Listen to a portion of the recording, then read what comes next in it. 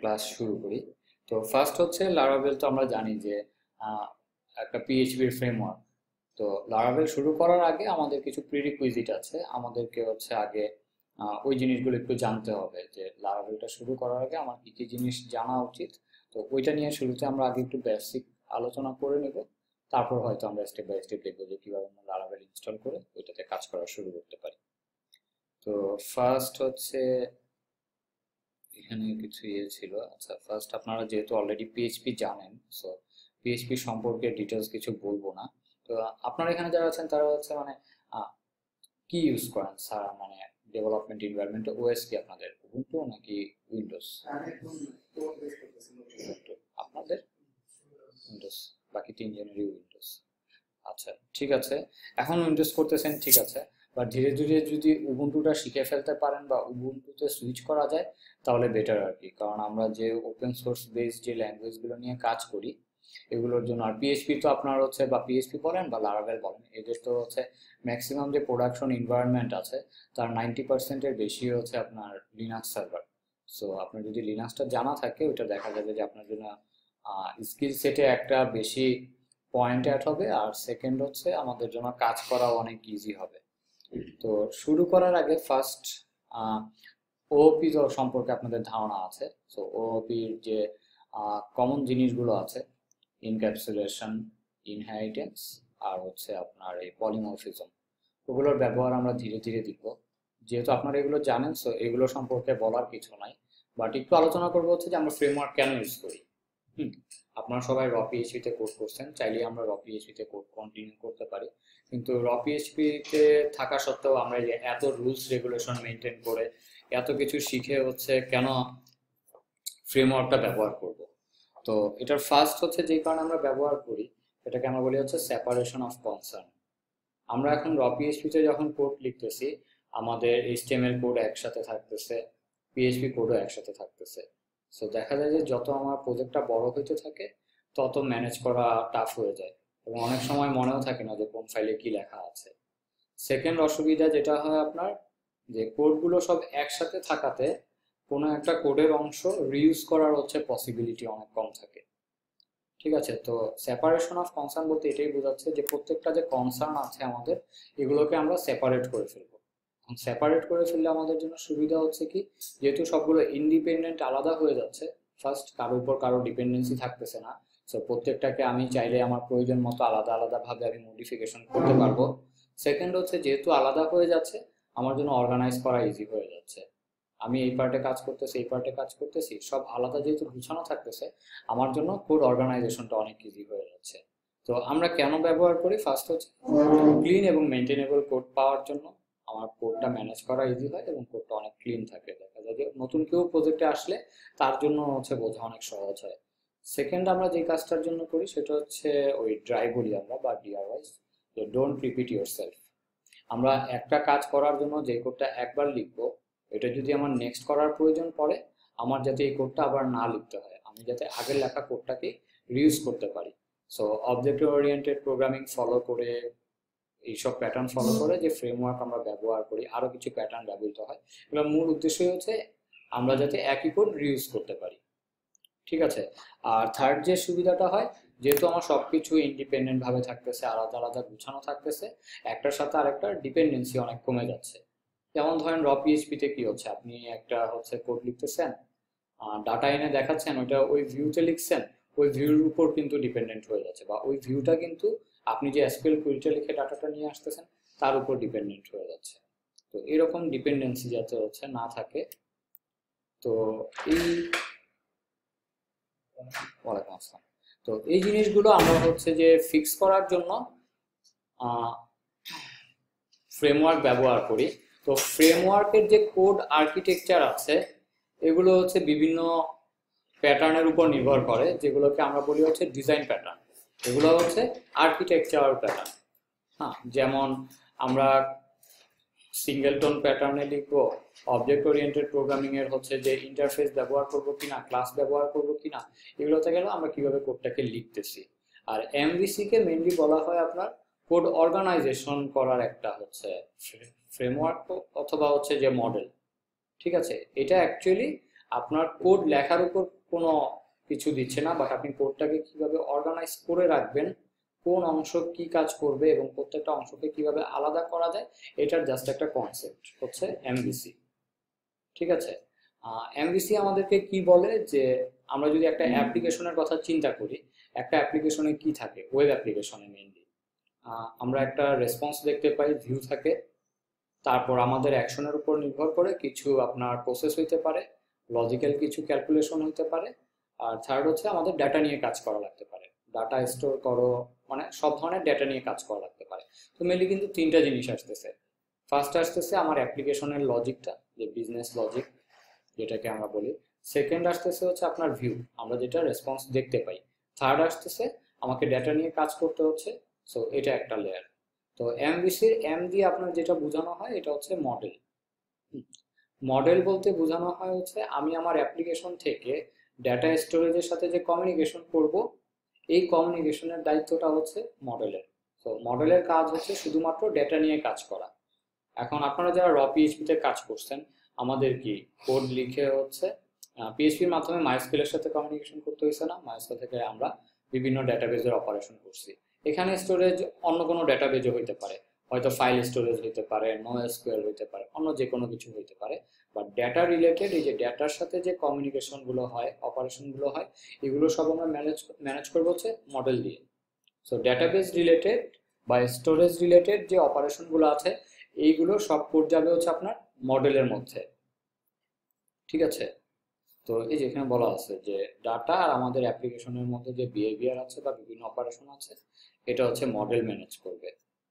তারপর সেকেন্ড আসতেছে হচ্ছে ভিএর ভিউ ভিউ হচ্ছে এটা সিম্পল বোঝাই যাচ্ছে। আমরা যে এইচটিএমএল বা যে টেমপ্লেটের আউটপুটটা দেখি, এটা হচ্ছে থাকবে ভিউ অংশে।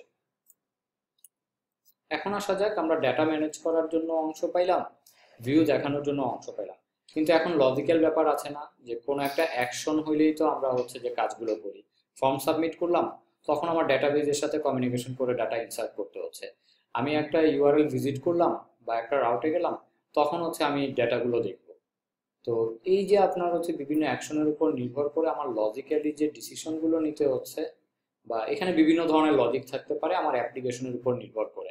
আমার হয়তো আপনার কোনো ম্যাথমেটিক্যাল ক্যালকুলেশন রান করা লাগতে পারে, আমার হয়তো বিভিন্ন অ্যালগোরিদম রান করা লাগতে পারে। তো এই যে লজিক্যাল ব্যাপারগুলো আছে, এগুলো থাকে হচ্ছে আপনার কন্ট্রোলারে ঠিক আছে? আমরা যদি একটা ইমেজের মাধ্যমে আমরা যদি এই ইমেজের মাধ্যমে হচ্ছে যে পুরো ব্যাপারটা বোঝার চেষ্টা করি, তাহলে আরও ইজি হবে। ফার্স্ট হচ্ছে আমরা যখন আমাদের ব্রাউজারে অ্যাড্রেস লিখে সাবমিট করি ব্রাউজার থেকে রিকোয়েস্টটা আমাদের অ্যাপ্লিকেশনে আসে।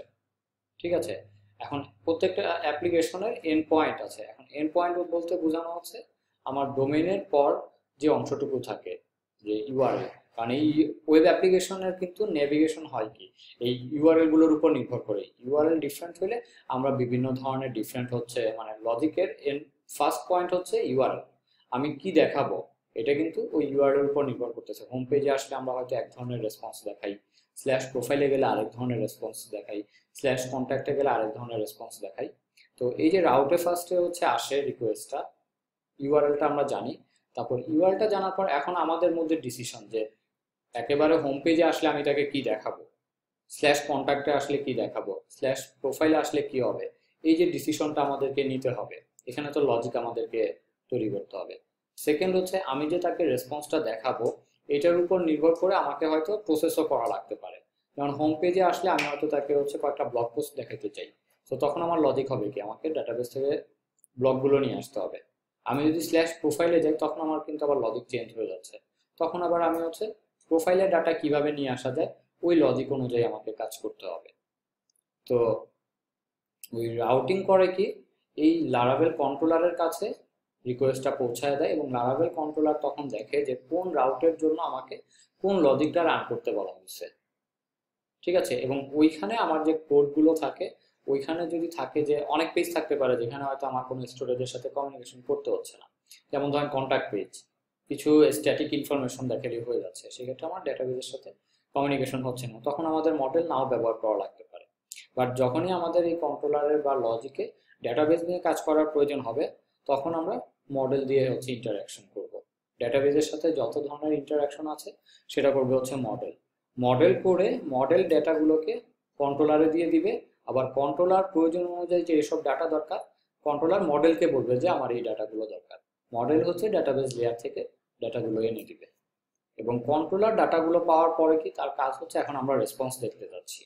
কন্ট্রোলার ওই ডাটাগুলোকে আমাদের ভিউ লেয়ারে পাঠিয়ে দেয়। ভিউ তখন আমাদেরকে এস্টিমেল আউটপুট আকারে আমরা যে এক্সপেক্টেড আউটপুটটা দেখতে চাই, সেটা আমাদেরকে দেখতে সাহায্য করে। ঠিক আছে? তো এই জিনিসগুলা করার ফলে আমাদের অ্যাকচুয়ালি কি অ্যাচিভ করতেছি আমরা? ফার্স্ট হচ্ছে আমাদের এইচটিএমএল লেয়ার যে আছে বা প্রেজেন্টেশন লেয়ার বা ভিউ লেয়ার এইখান থেকে ডেটাবেস লেয়ার সম্পূর্ণ আলাদা হয়ে যাচ্ছে। সো আমি আমার ইচ্ছা মতো প্রয়োজন পড়লেই ভিউতে চেঞ্জ করতে পারতেছি। এটার জন্য আমার ডেটাবেজের উপর কোনো ইম্প্যাক্ট করতেছে না। সেকেন্ড হচ্ছে, আমি যদি আমার ডেটাবেজের লেয়ারেও কোনো চেঞ্জ করি, আমার প্রেজেন্টেশনের উপর কোনো ইম্প্যাক্ট করতেছে না। কারণ দুটো জিনিস কিন্তু সেপারেট আলাদাভাবে আছে। সেকেন্ড হচ্ছে, আমাদের ভিউ থেকে লজিকটা আলাদা হয়ে নর্মালি আমরা যখন র পিএইচপিতে কাজ করি, আমাদের ম্যাক্সিমাম লজিক্যাল কোডগুলো কি? ওই ফাইলের মধ্যেই কিন্তু থাকে। একই ফাইলে আমাদের এইচটিএমএল থাকতেছে, একই ফাইলে আমার আবার পিএইচপির লজিক্যাল কোডগুলো থাকতেছে। তো এই মডেলে আমাদের সুবিধা হচ্ছে, আমার লজিক আলাদা হয়ে যাচ্ছে এইচটিএমএল কোড আলাদা হয়ে যাচ্ছে। সো দেখা যায় যে এই জন্য আমার মানে ডিপেন্ডেন্সি কমে গেল। ঠিক আছে? আর যেহেতু লজিকটাই আলাদা আছে, আমি চাইলেই লজিকের এই অংশ অন্য ভিউতে ব্যবহার করতে পারব। আবার এই ভিউটাকে আমি চাইলেই অন্য একটা লজিকের সাথে হচ্ছে কানেক্ট করাই দিতে পারব। বাট নর্মালি র পিএইচপিতে যেহেতু আপনার ভিউটাও একসাথে আছে, আপনার লজিক্যাল বা প্রসেসের কোডটাও একসাথে আছে, আপনি দুইটাকে কিন্তু আলাদা করে ব্যবহার করতে পারতেছেন ঠিক আছে, তো এমভিসি প্যাটার্ন হচ্ছে আমাদের এই সুবিধাটা দিচ্ছে। তো আমরা যদি লারাভেল শুরু করতে চাই আচ্ছা এই পর্যন্ত হচ্ছে আমরা যে যে এমভিসি জিনিসটা কি বুঝা গেছে এমভিসি জিনিসটা হচ্ছে জাস্ট এইটাই যে আমি অনেকগুলো ফাইলে কোড লিখতেছি আমি জাস্ট করলাম কি মডেল নামে একটা ফোল্ডার তৈরি করলাম যে ফাইলে আমার ডাটাবেস রিলেটেড কোডগুলো আছে ওগুলোকে আমি মডেল ফোল্ডারের মধ্যে ফেলে দিলাম। আমার এসটিএমএল বা টেমপ্লেটের যে কোডগুলো আছে ওগুলোকে আমি ভিউ ফোল্ডারের মধ্যে ফেলে দিলাম। আর কন্ট্রোলার নামে একটা ধরনের ফোল্ডার আছে ওইটার মধ্যে আমি আমার প্রসেস করার বা লজিক্যাল যে ডিসিশন নেওয়ার ব্যাপারগুলো আছে এগুলোকে ফেলে দিলাম। এই যে আমি কোডগুলোকে আলাদা আলাদা করে অর্গানাইজ করে রাখতেছি এইটাকেই আপনার এমবিসি করতেছে ঠিক আছে? হ্যাঁ। এখানে ডেটার সাথে ইন্টারাক্ট করা লাগে এরকম সবকিছু ওই ধরনের কোডগুলো থাকবে আর কি। হ্যাঁ? কন্ট্রোলের মধ্যে রাখা যায় কিন্তু এটা বেস্ট প্র্যাকটিস না। ঠিক আছে? আমি চাইলে তো সব সবকিছু তাহলে তো আমার এই যে এমভিসি বা ফ্রেমওয়ার্ক ফলো করার কোনো দরকার নেই। এগুলো করা হচ্ছে এগুলোর সুবিধা কি? এগুলো যখন আমরা কাজ করা শুরু করব তখন এক্সাম্পলে আমরা বুঝতে পারব যে এটা করলে কি সুবিধা আছে। তো লারাভেল শুরু করার আগে আমাদের ফার্স্ট যে টুলটার কথা জানতে হবে সেটা হচ্ছে কম্পোজার কম্পোজার হচ্ছে একটা command line tool command line tool মানে হচ্ছে আমরা ওই উইন্ডোজে যারা ইউজ করেন, তাদেরকে ওই সিএমডি বা পাওয়ার শেল দিয়ে রান করতে হবে। লিনাক্স বা ইউনিক্সের ইউজাররা আমরা টার্মিনাল ব্যবহার করি। ঠিক আছে? তো কম্পোজার আমাদেরকে কি সাহায্য করে? আমরা যে কাজ করি, তারপর ওপেন সোর্স টেকনোলজি নিয়ে কাজ করি, আমাদের সবচেয়ে বড় সুবিধা হচ্ছে কি, আমরা অলরেডি বিভিন্ন মানুষের তৈরি করা জিনিসগুলো ইজিলি ব্যবহার করতে পারি। যেগুলোতে অনেক মানুষ কন্ট্রিবিউট করতেছে। সো আমার দেখা যায় যে একই জিনিস আমার নিজেকে তৈরি করা লাগে না। যে আমরা যেটাকে বলি যে ডোন্ট রিইনভেন্ট দ্য হুইল যে জিনিস অলরেডি তৈরি করা আছে এবং সবাই হচ্ছে যেটাকে একসেপ্ট করতেছে, ওরকম কিছু থাকলে তোমার নিজের কোনো কিছু তৈরি করা দরকার নেই। সো এই যে ফ্রেমওয়ার্কগুলো আছে ফ্রেমওয়ার্কগুলো মূলত কি? ফ্রেমওয়ার্ক হচ্ছে আমরা এই যে বিভিন্ন ধরনের যে কাজ করি, ধরেন ডাটাবেজের কাজ করতেছি রাউটিং করতেছি তারপর মেইল পাঠাচ্ছি। তো এই কাজগুলো তো ম্যাক্সিমাম ওয়েব অ্যাপ্লিকেশনেই লাগে। এখন এই কাজ করার জন্য হচ্ছে কি অলরেডি মানুষজন কোড লিখছে না। আপনিও হয়তো দুইটা প্রজেক্টে কাজ করার পর দেখবেন যে আপনার এই কাজগুলো করার জন্য কোড রেডি হয়ে গেছে। সো আপনি যখন নেক্সট হচ্ছে কাজ করবেন। আপনি কি বারবার নতুন করেই কোড লিখবেন? আপনি তো চাইবেন যে কোডগুলো যাতে রিউজ করা যায়। তো এই কোডগুলো যাতে রিউজ করা যায়, এই জন্য বিভিন্ন স্পেসিফিক টাস্কের জন্য বিভিন্ন স্পেসিফিক প্যাকেজ তৈরি করা আছে। আমি আজকে মেইল পাঠানোর জন্য একটা জিনিস তৈরি করলাম। আমি দেখলাম যে হ্যাঁ এটা তো ভালো, সুন্দর হয়েছে। আমি এটা ওপেন সোর্স মানুষজনের সাথে শেয়ার করে দিলাম। ফার্স্ট আমার কি সুবিধা হলো? যে, আমি আমার তৈরি একটা জিনিস মানুষকে দিলাম, মানুষজন আমাকে অ্যাপ্রিসিয়েট করবে। সেকেন্ড মানুষজনের সুবিধা হচ্ছে, তারা একটা জিনিস হচ্ছে বানানো পেয়ে গেল। সো তাদের কিন্তু আর এই জিনিসটা লিখতে হবে না। তাদের সময় বেঁচে যাবে। সেকেন্ড আমার জন্য আবার সুবিধা হচ্ছে, আমি হয়তো এটাতে একটা ফিচার অ্যাড করার সময় পাইছিলাম। কারণ কিছুদিন পর আমার আরও ফিচার দরকার। আমি সময় পাচ্ছি না। দেখা গেল যে ওই ফিচারটা অন্য আরেকজনের ইউজারের দরকার, সে আমাকে অ্যাড করে দিছে। তো এইভাবে দেখা যাবে যে একটাতে কন্ট্রিবিউট করতে করতে এই জিনিসটা কিন্তু অনেক সুন্দর এবং হচ্ছে যে বড় একটা জিনিস হয়ে যায়। তো ফ্রেমওয়ার্কগুলো হচ্ছে কি, এই একটা ওয়েব অ্যাপ্লিকেশন তৈরি করতে কমন যেই জিনিসগুলো লাগে ওই রকম বিভিন্ন প্যাকেজগুলোকে একত্রিত করে একটা স্কেলেটন আকারে আপনাকে তৈরি করে ঠিক আছে? আমরা এখন একটা ওয়েব অ্যাপ্লিকেশন তৈরি করব। আমার প্রত্যেকটা ওয়েব অ্যাপ্লিকেশনের ডেটাবেসের সাথে কানেকশন তৈরি দরকার মেল পাঠানো দরকার আছে ইউজার অথেন্টিকেশনের দরকার আছে।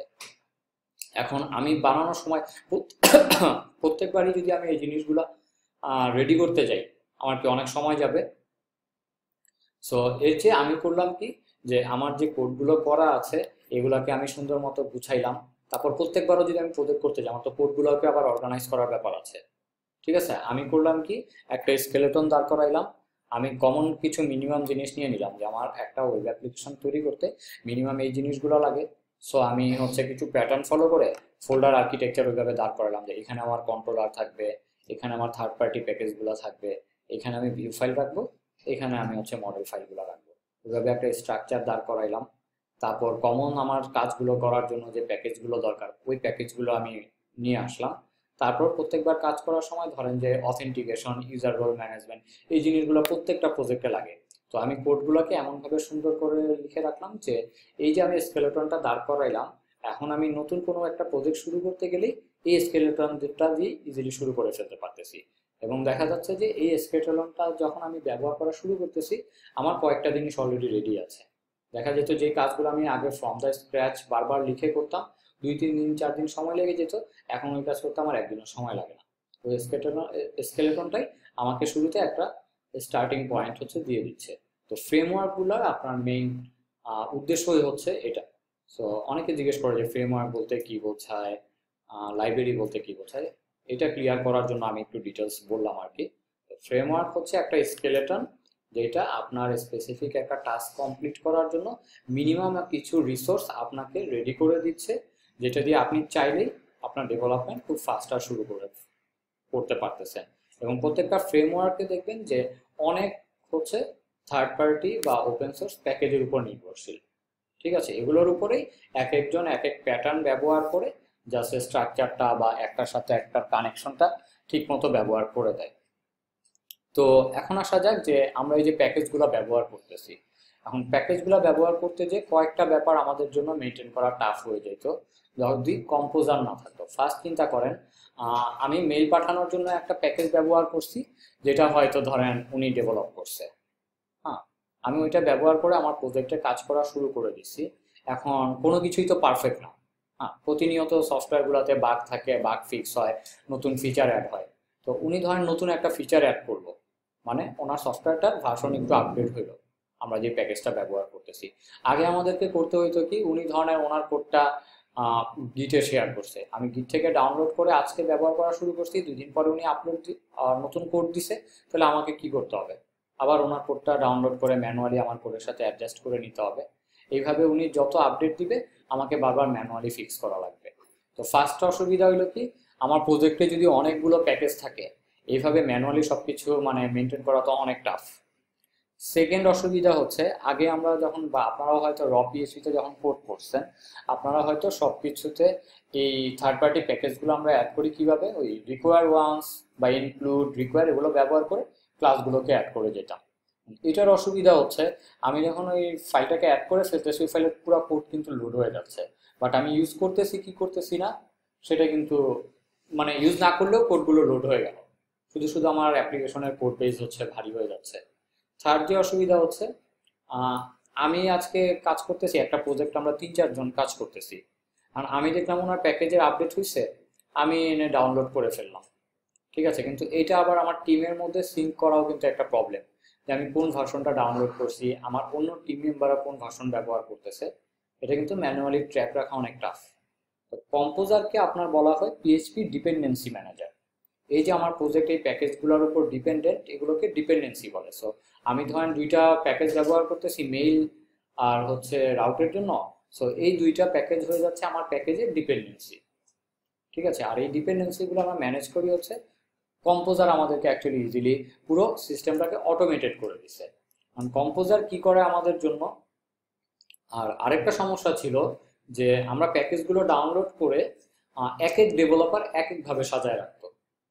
আমি হয়তো লাইব্রেরি নামে একটা ফোল্ডার করে ওইটার মধ্যে রাখতেছি আপনি হয়তো অ্যাপ নামে একটা ফোল্ডার করে ওইটার মধ্যে রাখতেছেন, আরেকজন হয়তো প্যাকেজেস নামে ফোল্ডার করে রাখতেছে। সো কমন কোনো আপনার মানে কনভেনশন ছিল না। সো দেখা যেত নতুন কেউ আসলে হয়তো বুঝতে সমস্যা হতো। তো কম্পোজার ফার্স্ট যে জিনিসটা নিয়ে আসছে, এই যে আপনার প্রজেক্টে একটা ডিপেন্ডেন্সি দরকার, এটাকে অটোমেটেড করে ফেলছে। আমরা এখন চাইলে ইজিলি জাস্ট একটা জেসন ফাইল থাকে যেটা হচ্ছে আপনারা ওই যেই প্রজেক্টে আমরা এই কম্পোজার ব্যবহার করতে চাই এখানে ফার্স্টে কম্পোজার ডট জেসন নামে একটা ফাইল তৈরি করা লাগে। এই জেসন ফাইলের মধ্যে অ্যাকচুয়ালি আপনার উল্লেখ করা থাকে যে এই প্রজেক্টটার জন্য কোন কোন প্যাকেজ হচ্ছে লাগবে এবং এই প্যাকেজগুলোর ভার্সন কি।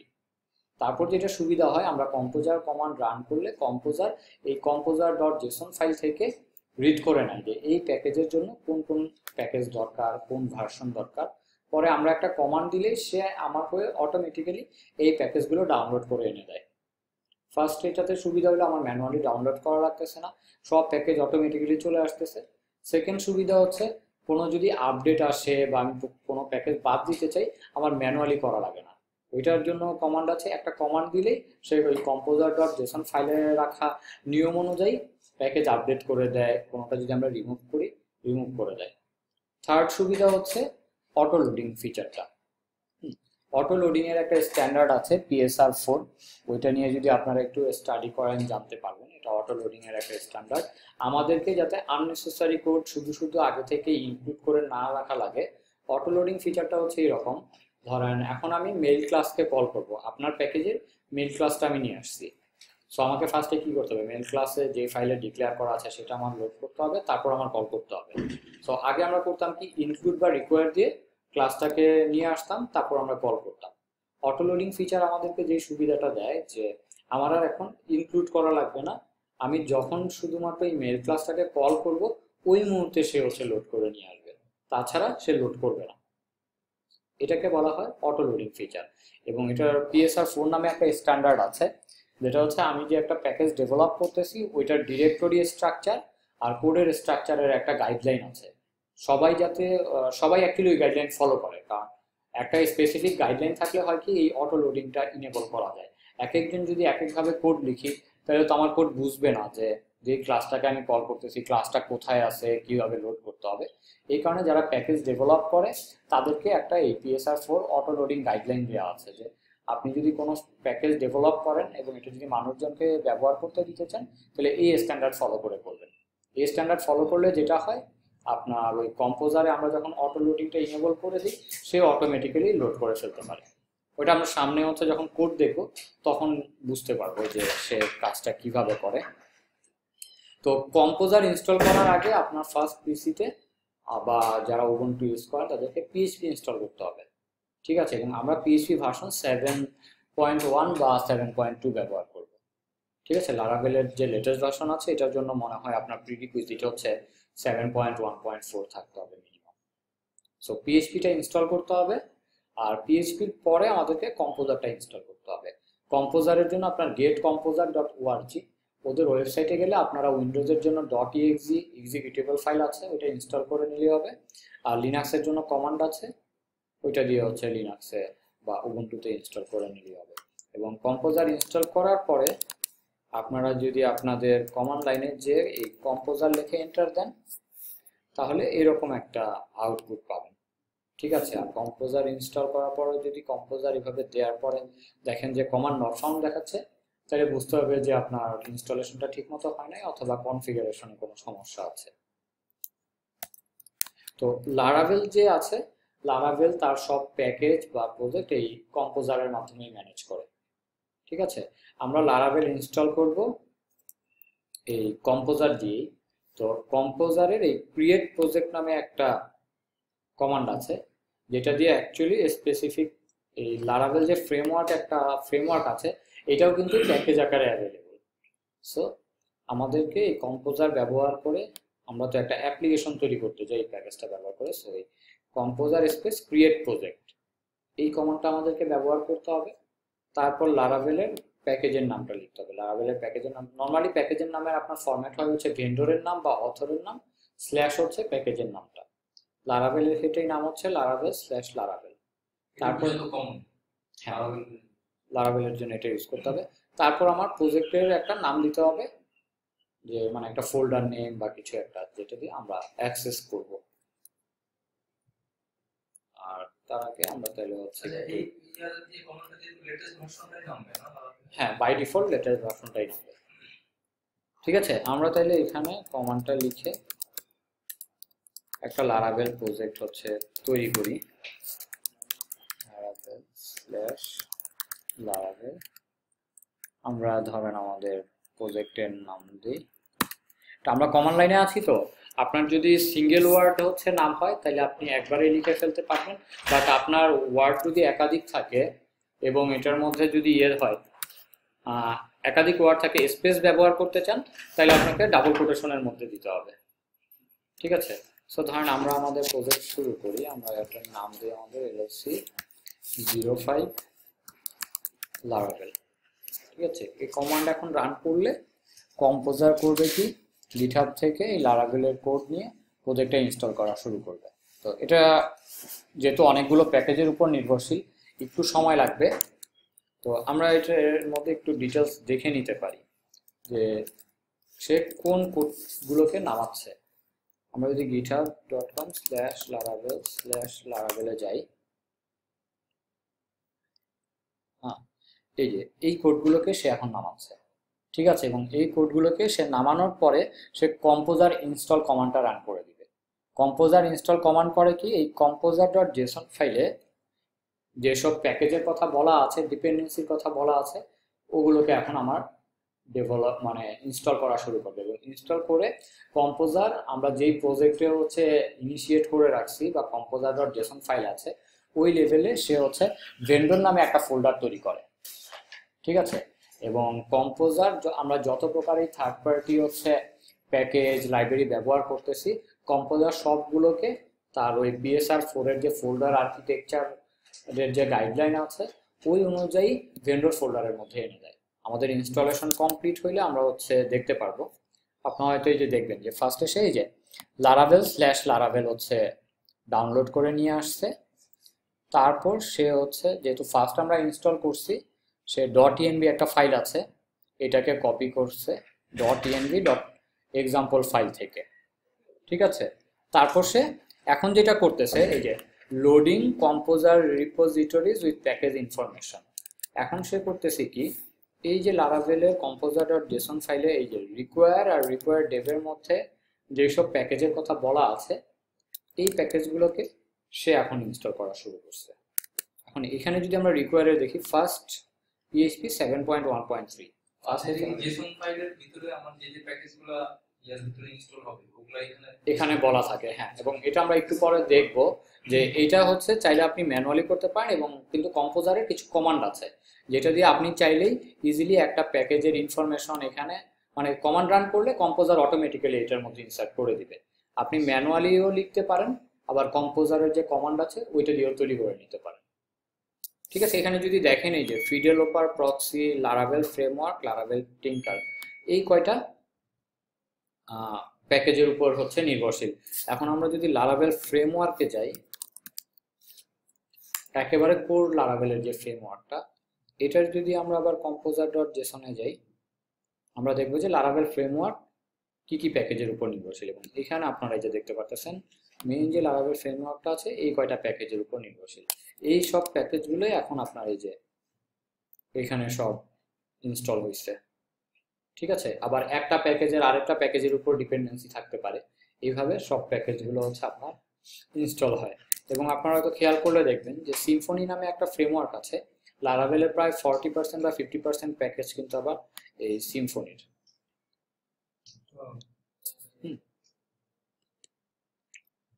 ঠিক আছে? আর এটা তো কম্পোজার দিয়ে আমরা এই যে প্যাকেজ ইনস্টল করা এই প্রজেক্টটা ইনস্টল করার পর পুরো প্রজেক্টটা ইনস্টল হয়ে যায়। এবং আমরা যদি এখন কোড রান করি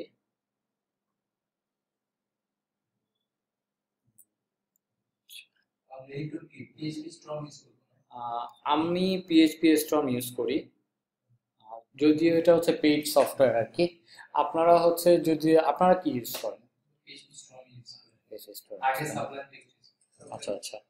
ফ্রেমওয়ার্ক বা এগুলো নিয়ে কাজ করার জন্য একটা আইডিই থাকলে অনেক ভালো হয় আর কি। বাট ওই কোনো একটা টেক্সট এডিটরকেও কিছু প্লাগ ইন ইনস্টল করে আপনার মোটামুটি কাজ করার মতো উপযোগী করে ফেলা যায়। আমার সাজেশন হচ্ছে ইয়ে যে হচ্ছে এটাই। যে আইডি ইউজ করতে পারলে ভালো। কিন্তু এটা তো মানে টাকা দিয়ে কিনতে হয় অনেকের জন্য আবার হচ্ছে এটা না সমস্যা। ইয়া হ্যাঁ হ্যাঁ স্টুডেন্ট আইডি কার্ড থাকলে এটাকে ইয়ে করে ফেলা যায়। লাইসেন্স নেওয়া যায় হ্যাঁ। যতদিন অ্যাকচুয়ালি আপনি স্টুডেন্ট আছেন ততদিন ওরা ইয়ে প্রোভাইড করে। ঠিক আছে আচ্ছা। আমরা ইনস্টল করার পরে এখন যদি লারাবেলের ফোল্ডারের মধ্যে যাই, আজকে আমরা ফার্স্টে হচ্ছে যে লারাবেল ইনস্টল করলাম। আমরা এটার হচ্ছে প্রজেক্টের স্ট্রাকচারটা সম্পর্কে আগে দেখব। যে কোডগুলো কীভাবে সাজানো থাকে, কোন কোন ফাইলগুলো দরকারি কোন ফাইলগুলো কি কাজে ব্যবহার করা হবে, আমরা কোথায় কোড লিখব, এই জিনিসগুলো হচ্ছে দেখব। লারাবেলের আর্কিটেকচার সম্পর্কে হচ্ছে আজকে আমরা আগে জানব।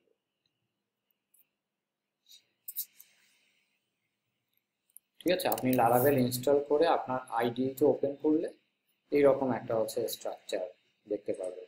বিভিন্ন ফোল্ডার আছে। আমরা একটু পরে কিছুক্ষণের মধ্যে কোন ফাইলের কাজ কি, কোন ফোল্ডারের কাজ কি এটা দেখব। তার আগে আমরা হচ্ছে লারাবেলের জন্য আরও কিছু প্রিরিকুইজিট আছে। পিএইচপির কয়েকটা ফিচার সম্পর্কে আমাদের জানতে হবে।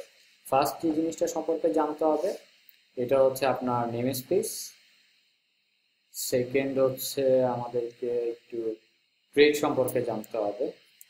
নেম স্পেসটা আমাদেরকে ফার্স্ট ভালো মতো বুঝতে হবে আর কি। এটা ফার্স্ট ম্যান্ডাটরি আর যেহেতু মোটামুটি সবাই হচ্ছে অবজেক্ট ওরিয়েন্টেড প্রোগ্রামিংটা বোঝেন, সেটা আমরা কাজ করতে যে দেখব যে ক্লাস কেন ব্যবহার করা হচ্ছে ইন্টারফেস কেন ব্যবহার করা হচ্ছে এনক্যাপসুলেশন কি কাজে লাগতেছে, এই জিনিসগুলো দেখব। বাট নেম স্পেসটা আমাদেরকে আগে ভালো মতো বুঝতে হবে।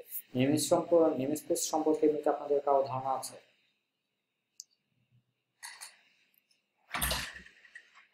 হ্যাঁ আচ্ছা ওকে। ঠিক আছে নেম স্পেস নিয়ে আমরা তাহলে এখন একটু সংক্ষেপে হচ্ছে আলোচনা করে ফেলি। আমি আমার পিএইচপি প্রজেক্টের ফাইল ওপেন করি।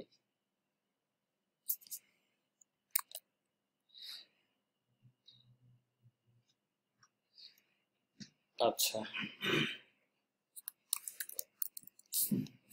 এটা নেম স্পেসটা এলএসি ওকে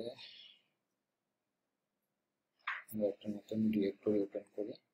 আগে আমরা তাহলে নেম স্পেস সম্পর্কে একটু বুঝে নিব, কারণ নেম স্পেসটা খুবই দরকারি। এটা PHP version five point four থেকে অ্যাভেলেবল হয়েছে ঠিক আছে?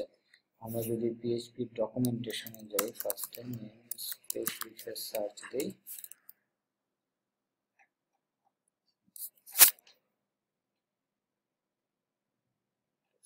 চলে গেছে।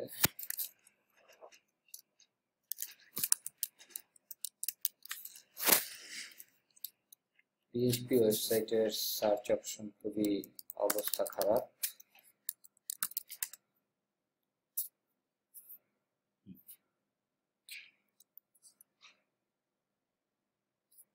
যদি দেখি। আচ্ছা sir version five point three point zero থেকে অ্যাভেলেবল হয়েছে হ্যাঁ? ফাইভ পয়েন্ট জিরো থেকে। তো নেম স্পেসটা কি কাজ করে আর কেন দরকার? ফার্স্ট আমরা আসি যে নেম স্পেস কোন প্রবলেমটা সলভ করছে পিএইচপি আগে আমরা ওইটা একটু দেখব। ফার্স্ট হচ্ছে, ধরেন, আপনারা তো অবজেক্ট ওরিয়েন্টেড প্রোগ্রামিং বোঝেন। ক্লাস তৈরি করা ক্লাস কল করা, এটা তো বোঝেন যে অবজেক্ট তৈরি করা। সো ধরেন আমি একটা ইউজার নামে ক্লাস তৈরি করছি।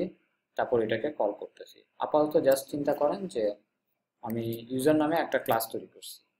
এখন কথা হচ্ছে, আমি আমার প্রজেক্টে ইউজার নামে একটা ক্লাস তৈরি করলাম। এখন আমি তো অনেক মানুষজনের প্যাকেজ ব্যবহার করতেছি। ঠিক আছে না? তারপর একটা অ্যাপ্লিকেশন তৈরি করতে যে আমার কিন্তু সেম নামে ক্লাস থাকতেও পারে। কারণ আমার সিস্টেমে দুইটা ভাগ আছে। একটা হচ্ছে ফ্রন্ট এন্ড ইউজার একটা হচ্ছে ব্যাক এন্ড ইউজার সেই দুটোর জন্য কাজ করতে যে আমার কিন্তু দুইটার জন্য আলাদা, দুইটা ইউজার ক্লাস লাগতেই পারে। কিন্তু ফার্স্ট অসুবিধা হচ্ছে পিএইচপিতে সেম নামের একাধিক ক্লাস হচ্ছে। তৈরি করা যায় না বা রাখা যায় না। আমি একটা নামে একটা ক্লাস ডিফাইন করার পর বা তৈরি করার পর নেক্সট যদি আরেকটা ক্লাস তৈরি করতে যাই পিএইচপি এর অর্থ করতো। ঠিক আছে? সো তো এই ব্যাপারটাতে ফার্স্ট আমরা তো নিজেরা পারতেছি না। সেকেন্ড যে জায়গাটাতে অনেক কনফ্লিক্ট হওয়ার সম্ভাবনা ছিল, সেটা হচ্ছে আমরা তো অনেকজনের প্যাকেজ ব্যবহার করতেছি। এখন আপনার প্যাকেজ ব্যবহার করতেছি, আরেকজনের প্যাকেজ ব্যবহার করতেছি, দুইটার মধ্যে কিন্তু নামের কলেশন হওয়ার খুব ভালোই চান্স থাকে। তো নেম স্পেস ফার্স্ট আমাদেরকে এই জায়গাটাতে হচ্ছে সলিউশন দিচ্ছে। আমরা যাতে সেম নামের একাধিক ক্লাস ব্যবহার করতে পারি নেম স্পেস আমাদেরকে এই সুবিধাটা দিচ্ছে। তো এটা সে কীভাবে করে? আমরা যদি একটা এক্সাম্পল দিয়ে দেখি এখানে। ধরেন আমি এখানে ইউজার নামে একটা ক্লাস তৈরি করি যদি। ইউজার হ্যাঁ ইউজার নামে আমি একটা ক্লাস তৈরি করলাম। তারপর আমার এই যে ওপি ডট পিএইচপি নামে একটা ফাইল আছে, এটাতেও হচ্ছে ক্লাস আছে, ঠিক আছে? এখন আমি যদি আমার অ্যাপ্লিকেশনে ফার্স্ট আমাদেরকে কি করতে হবে? এই দুইটা ফাইলকে মানে ক্লাসের কলকে তো লোড করতে হবে। তো একটার নাম হচ্ছে ইউজার ডট পিএইচপি একটা হচ্ছে ওপি ডট পিএইচপি এখন এটাকে যদি আমি রান করি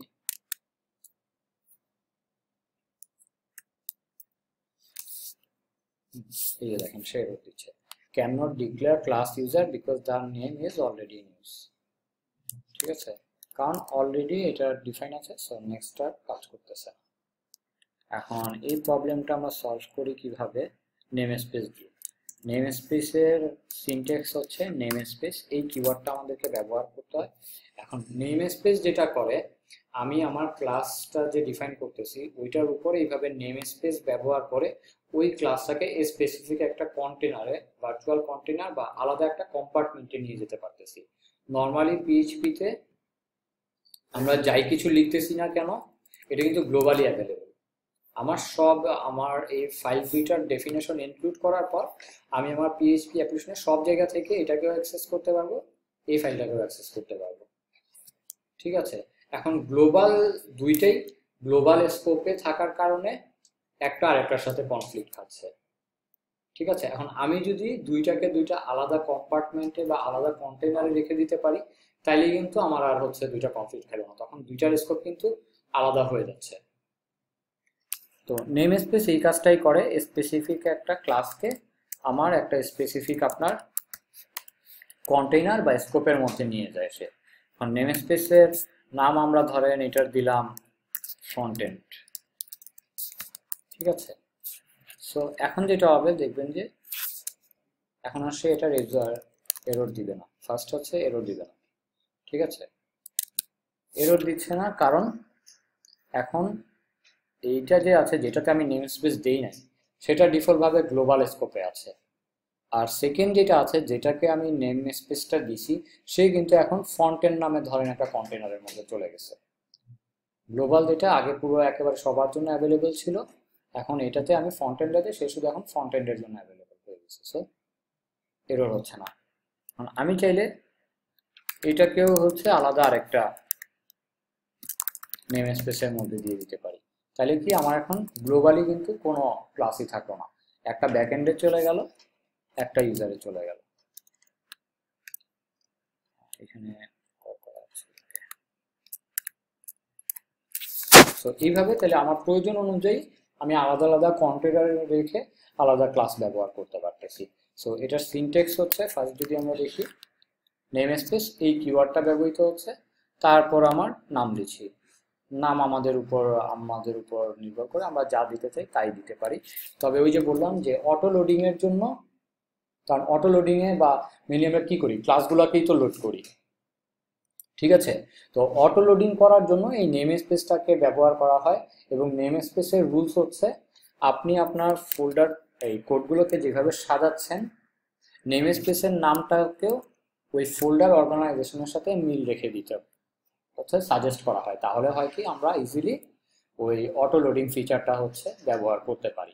পিএসআর ফোর স্ট্যান্ডার্ড আমাদেরকে যেটা বলে আমরা আমাদের হচ্ছে ফাইলটাকে যেখানে লিখতেছি, ওইটার ফোল্ডার অর্গানাইজেশনটা আমাকে মেনটেন করতে হবে। ধরেন, আমার ধরেন এই ইউজার ডট পিএসপি যে ফাইলটা আছে নর্মালি একটা প্যাকেজের ক্ষেত্রে যেটা বলা হয়, যে এসআরসি এই ফোল্ডারের এটা হবে আপনার ফার্স্ট ফোল্ডার এই ফোল্ডারের মধ্যে আপনার ফাইলগুলো থাকবে। এখন ধরেন এই ফোল্ডারের মধ্যে যদি আমার ব্যাকের নামে একটা ফোল্ডার থাকে, যেখানে আমার আছে পিএইচপি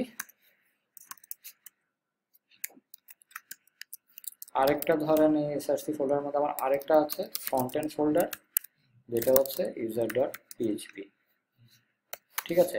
তাহলে আমাদেরকে যেই রুলসটা ফলো করতে বলা হয়, এই ইউজার ডট পিএইচপি নেম হবে হচ্ছে আপনার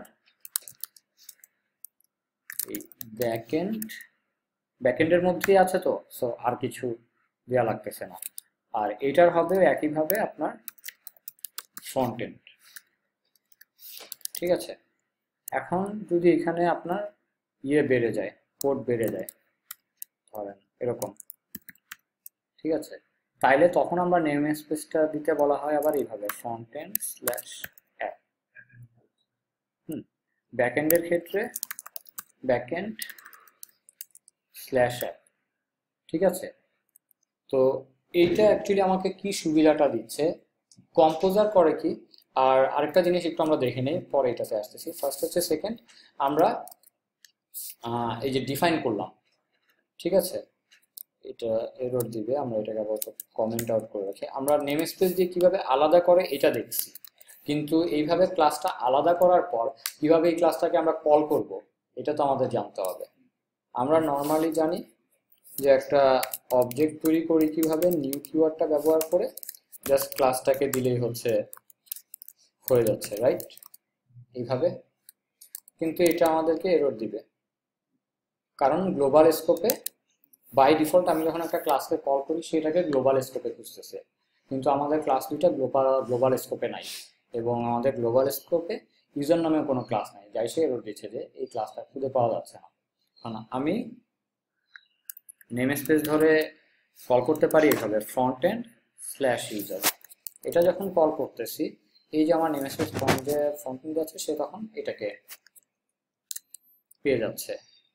এখন এরর দিচ্ছে না, আমার কোনো আউটপুট নাই, তাই আউটপুট দেখাচ্ছে না। আমি যদি ব্যাক এন্ডেডটা কল করতে চাই, এই যে নেম স্পেস ব্যাক এন্ড তখন আমি ব্যাক এন্ড ইউজার দিলে ওইটা কল হচ্ছে। ঠিক আছে, আমরা ফার ডাউন করে দেখতে পারি।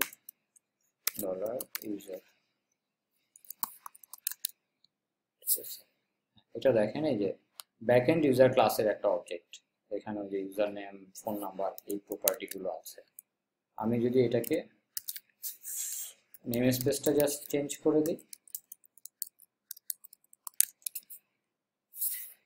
আমার এটা ফ্রন্ট এন্ড ইউজারের অবজেক্ট হয়ে গেল। একটা ফাইলের মধ্যে আমরা যদি একই মানে একই নামের ক্লাস যদি ব্যবহার করতে চাই হ্যাঁ। একই নামের ক্লাস মানে দুটা আছে? তাহলে কি সেই আচ্ছা এইখানে হচ্ছে ফার্স্ট যে জিনিসটার একটা রুলস হচ্ছে আমরা একটা ফাইলে কখনোই একটার বেশি ক্লাস লিখব না। ঠিক আছে? এটা বেসিক রুলস একটা ফাইলে আমরা কখনোই একটার বেশি ক্লাস লিখব না। প্রত্যেকটা ক্লাস হচ্ছে ইন্ডিপেন্ডেন্ট আলাদা আলাদাভাবে থাকবে। এবং একটা ক্লাসের রেসপন্সিবিলিটি একটাই হবে। ঠিক আছে? এটা হচ্ছে বেস্ট প্র্যাকটিস সো আমার একটা ক্লাস একটা ফাইলে অ্যাকচুয়ালি একাধিক ক্লাস রাখাই যাবে। ঠিক আছে? বাট আমরা শুরুতে যে নেম স্পেস বলে দেই, এরপর সে যত কোড পাবে ক্লাসকে পাবে, সেটাকে সে সেম নেম স্পেসের আন্ডারেই নিয়ে আসবে। ঠিক আছে? সো এইভাবে আমরা কল করতে পারি। সো আমার নেম স্পেস যদি আরও বড় হয়, এরকম হয়, তাহলে এইভাবেই কল করা লাগবে। ঠিক আছে? তো আমরা এইভাবে কল করতে পারি। এখন কথা হচ্ছে, ওই যে আমি অটো লোডিং এর কথা বলতেছিলাম। ঠিক আছে অটো লোডিং এ আমি কি বলতেছিলাম, আমরা যখন ক্লাসটাকে কল করি, তখন সে হচ্ছে ফাইলটাকে ইনক্লুড করে নেয়। তার আগে সে ইনক্লুড করে না। তো এটা কীভাবে কাজ করে? ঠিক আছে কম্পোজার যেটা করে, আমরা যখন এটা কল করতেছি না কল করার পর সে হচ্ছে গাইডলাইন অনুসারে মানে একটু আগে আমরা যে গাইডলাইনটা পাইলাম, যে নেম স্পেস কীভাবে দিব আমরা ক্লাসে ওইটার কথা যদি চিন্তা করি, তাহলে এই লোকেশনটা কনভার্ট হয়ে কি হয়? Content slash app slash user dot এরকম হয়ে যাচ্ছে না? সে অ্যাকচুয়ালি এই নেম স্পেস ধরেই এই প্যাকেজটা কোথায় আছে খুঁজে বের করে সাথে সাথে লোড করে। ঠিক আছে? এই কারণে নেম স্পেস দেওয়াটা আর ওই ফোল্ডার আর্কিটেকচারটা মেনটেন করাটা জরুরি। কারণ এই দুইটা যদি মিসম্যাচ হয়ে যায়, তখন কিন্তু কম্পোজার অটো লোড করে আপনার হচ্ছে এই প্যাকেজ মানে ক্লাসটাকে নিয়ে আসতে পারবে না। তো এই কারণে যারা প্যাকেজ ডেভেলপ করে, তাদের সবার দেখবেন যে এরকম কমন হচ্ছে আপনার গাইডলাইন ফলো করা লাগে কারণ ওটা যদি ফলো না করেন, আপনার পিএসআর ফোর যদি ইনেবল মানে কম্পেটেবল না হয় আপনার প্যাকেজ দেখবেন যে প্যাকেজিস যে কম্পোজারের মানে পিএসপি প্যাকেজের রিপোজিটরি আছে, ওইখানে আপনি সাবমিটই করতে পারবেন। ঠিক আছে? কারণ আপনি যদি পিএসআর ফোর ম্যানেজ না করেন, তাইলে কিন্তু মানে পিএসআর ফোরের মেন উদ্দেশ্য কি আমরা যদি ইজিলি প্যাকেজটাকে ব্যবহার করতে পারি। সো এই আর্কিটেকচার মেনটেন না করা গেলে কিন্তু আপনার প্যাকেজটা ব্যবহার করা যাচ্ছে না কম্পোজার ব্যবহার করে। তো, এই জন্য এটা জরুরি। এবং আমরা লারাভেল বা অন্য যে প্যাকেজগুলো দেখব দেখব যে প্রত্যেকটাতে এরকম নেম স্পেসের প্রচুর ব্যবহার আছে। ঠিক আছে? আমরা এখন হয়তো সামনে কোড কোডে আরও ডিটেলস দেখতে পারব বাট আপনারা এখন নেম স্পেসের বেসিক ব্যাপারটা বুঝতে পারতেছেন কিনা, পারছেন কিনা আর কি? যে কেন ব্যবহার করব, কীভাবে ব্যবহার করব? ঠিক আছে? আমরা যদি আমাদের লারাবেল প্রজেক্টে ফেরত আসি লারাবেল তো ইনস্টল হয়ে গেছে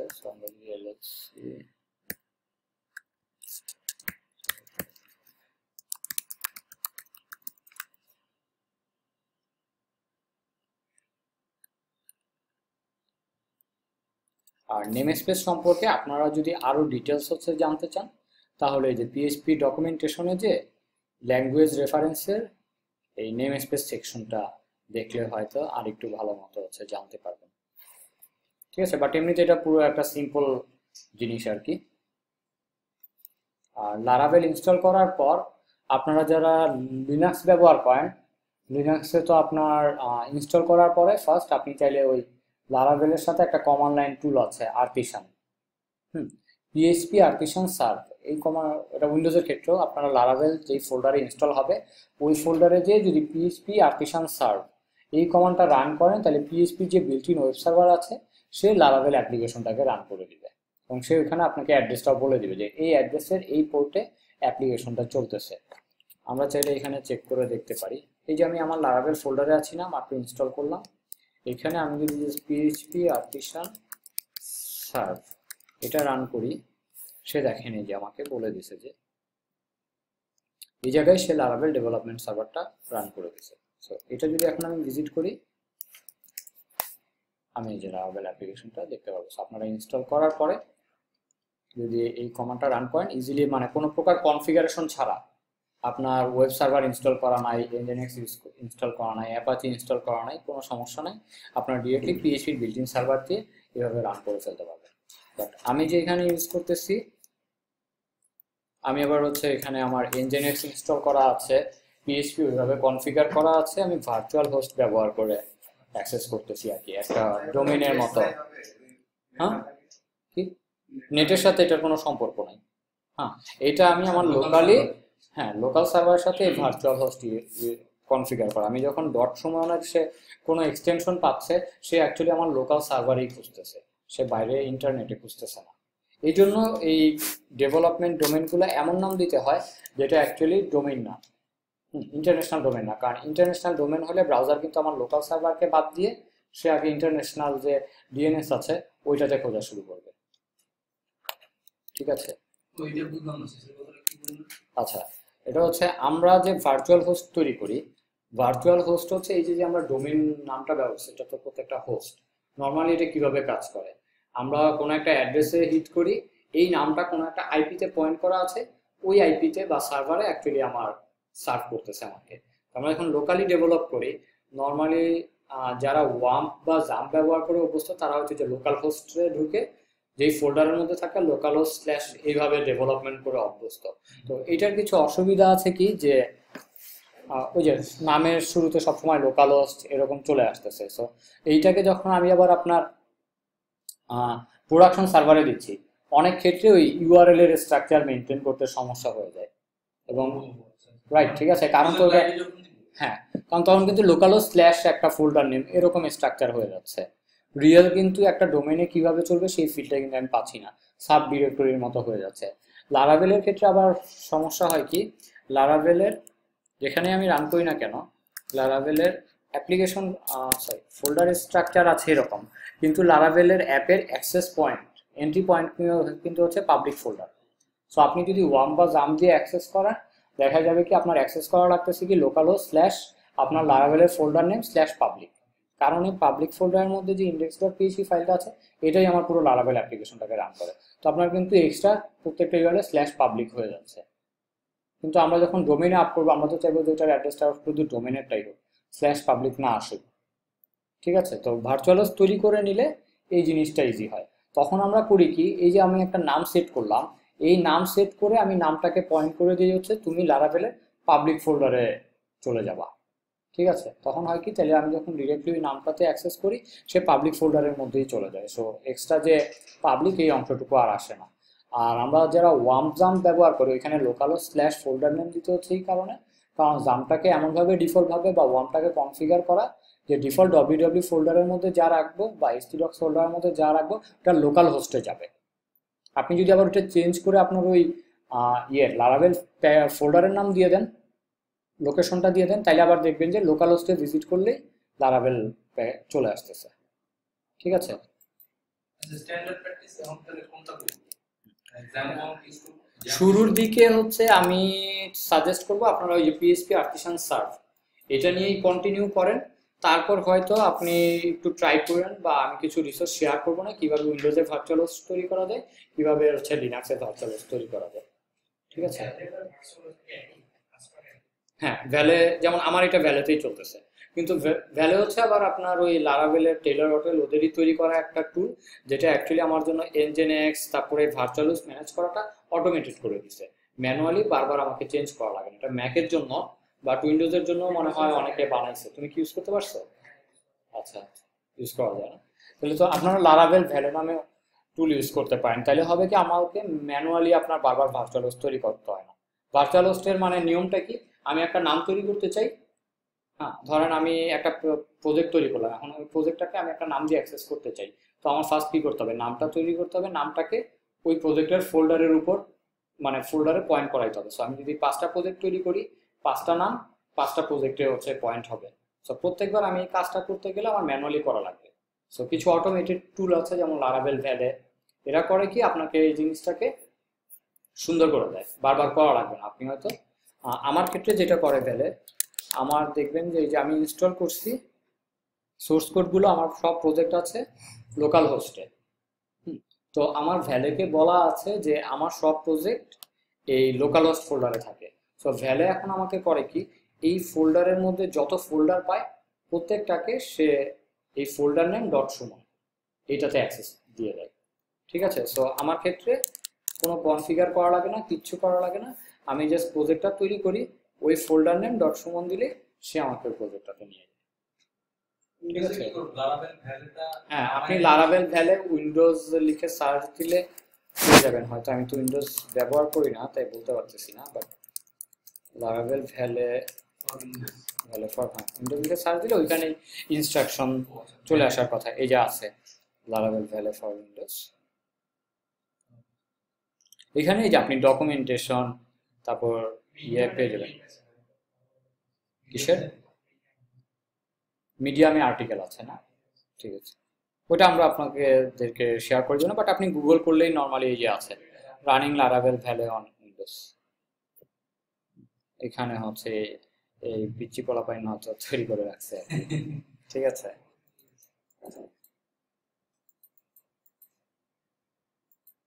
ওকে তো ইনস্টল করার পর আজকে আমরা হচ্ছে যে জিনিসটা দেখব নেম স্পেসটা আমাদের যে দরকার সেটা আমরা একটু পরে লারাবেলের কোড যখন দেখা শুরু করব, তখনই দেখতে পারব যে নেম স্পেস কি পরিমাণ ব্যবহৃত হয়েছে। আচ্ছা নেম স্পেসের আপনাদেরকে জাস্ট একটা এক্সাম্পল দেখায় দিই। এই যে ভেন্ডর ফোল্ডারটা আছে, আমি বলছি যে ভেন্ডর ফোল্ডারের মধ্যে আপনার সব প্যাকেজগুলো থাকে। এখন এই যে লারাবেল আছে এবং এই প্যাকেজগুলোর, এই ফোল্ডার আর্কিটেকচারটা হয় কি? আমরা জানি কি, প্যাকেজের নাম কি হয়? ভেন্ডর বা অথর নেম স্ল্যাশ প্যাকেজের নাম। সো এই প্যাকেজগুলোও আপনার এইভাবে স্ট্রাকচার হয়ে থাকে। আমরা কম্পোজার ডট জেসন ফাইল থেকে দেখছিলাম যে আমার এই প্যাকেজে এই লারাভেল অ্যাপ্লিকেশনের জন্য Laravel slash framework Laravel slash Tinker এই দুইটা প্যাকেজ দরকার। সো দেখেন এই যে লারাভেল হচ্ছে অথরের নাম, যেটা এই যে লারাভেল নামে একটা ফোল্ডার তৈরি হচ্ছে। এবং এই ফোল্ডারের মধ্যে আবার প্যাকেজ দুইটা কি? ফ্রেমওয়ার্ক আর টিঙ্কার দেখেন এই যে ফ্রেমওয়ার্ক এবং টিঙ্কার নামে কিন্তু ফোল্ডার চলে আসছে। এখন আমরা যদি ফ্রেমওয়ার্কে যাই, দেখেন এসআরসি নামে একটা আছে। এটা হচ্ছে এই প্যাকেজের এন্ট্রি পয়েন্ট ঠিক আছে? মানে এসআরসির মধ্যে এই যে যে ফোল্ডার নেম আছে, এই ফোল্ডার নেম দিয়ে লারাভেলের সব ফিচার অ্যাভেলেবল আছে। এবং দেখেন, এখানে স্ট্রাকচারটা কীরকম ইলুমিনেট অথ ধরেন অথ ম্যানেজার সো এটার দেখেন নেম স্পেস কিন্তু এই যে ইলুমিনেট অথ ঠিক আছে? এই ফোল্ডার আর্কিটেকচারের সাথে মেনটেন করে। আমি যদি অ্যাক্সেস ফোল্ডারে যাই এবং এটার কোনো ফাইলে যাই, এটার দেখেন লেভেলটা কী হয়ে যাচ্ছে? এটা আছে কোথায়? ইলুমিনেট অথ অ্যাক্সেস এই ফোল্ডারে সো নেম স্পেসটাও কিন্তু এই যে ইলুমিনেট অথ অ্যাক্সেস ঠিক আছে? এভাবে হচ্ছে আপনার এই নেম স্পেসটা মেনটেন করতে হয়। এবং এই কম্পোজার ডট জেসন ফাইলের এই যে অটো লোড অপশনে এই যে বলা আছে যে এটা পিএসআর ফোর ইউজ করবে এবং নেম স্পেস অ্যাপ হচ্ছে আমার একেবারে ফার্স্ট লেভেলের ওই ফার্স্টে আমরা একটু front and back end use করতেছিলাম না, এই অ্যাপটা হচ্ছে আমার একেবারে ফার্স্ট লেভেল নেম স্পেসের নামটা এবং এটা আমাকে কোন ফোল্ডার পর্যন্ত অ্যাক্সেস দিচ্ছে? অ্যাপ স্ল্যাশ সো তার মানে দাঁড়াচ্ছে অ্যাপ স্ল্যাশ ফোল্ডারের মধ্যে যে কনসোল ফোল্ডারটা আছে, এটাকে আমি অ্যাক্সেস করতে পারব অ্যাপ স্ল্যাশ কনসোল দিয়ে। ঠিক আছে? কারণ অ্যাপ এই লেখাটাই আমাকে অ্যাপ ফোল্ডারের মধ্যে নিয়ে যাচ্ছে। ঠিক আছে? সো আমি যদি এই এইচটিটিপির মধ্যে কন্ট্রোলার ফোল্ডার অ্যাক্সেস করতে চাই, তাহলে এটার নেম স্পেস হয়ে যাচ্ছে কি আপনার app slash HTTP slash controller তো এইভাবে আমরা যখন হচ্ছে লারাভেলে কাজ করব, আমরা বিভিন্ন ক্লাস তো বিভিন্ন ফোল্ডারে তৈরি করব। পরে যখন আমরা আমাদের অ্যাপ্লিকেশনে এক জায়গায় আরেক জায়গায় কোড ব্যবহার করতে যাব ক্লাস লোড করতে যাব, আমাকে এভাবে নেম স্পেস ধরে নিয়ে আসতে হবে। ঠিক আছে? মানে হয় মেইনলি এটার সুবিধা দিচ্ছে, আর নেম স্পেসের সাথে এই পিএসআর ফোরের যে অটো লোডিং স্ট্যান্ডার্ডটা আছে এটা আমাদেরকে সুবিধাটা দিচ্ছে যে, ওই যে নেম স্পেসের কারণে সে ওইটা ধরে আমার ক্লাসটা যখন আমি কল করতেছি লোড করে নিয়ে আসতে পারতেছে। হ্যাঁ অটো অটো লোড করে দিচ্ছে আর কি। আমার ম্যানুয়ালি ধরেন আমি এখানে যে, আমরা দেখব কাজ করতে যাই যতই কন্ট্রোলার যত ফাইলে তৈরি না, তৈরি করি না কেন, কোনো ফাইলে আমার কোথাও ইনক্লুড করা লাগবে না রিকোয়ার করা লাগবে না। কারণ আমি যে ওই যে নেম স্পেস দিয়ে দিব, ওই নেম স্পেস ধরে সে হচ্ছে লোড করে দিবে, আমি যখন কল করব। ঠিক আছে? এখন ফার্স্ট আমরা কোড টোড লেখার আগে আমরা আপাতত আজকে কোনো কোড লিখব না। হয়তো হ্যালো ওয়ার্ল্ডটা একটু চেঞ্জ করে দেখতে পারি বাট আজকে আমরা জানব লারাভেলের পুরো ফোল্ডার অর্গানাইজেশন বা আর্কিটেকচার সম্পর্কে যে কোথায় কি কোডটা আছে কোন কোডটা কি কাজে লাগবে।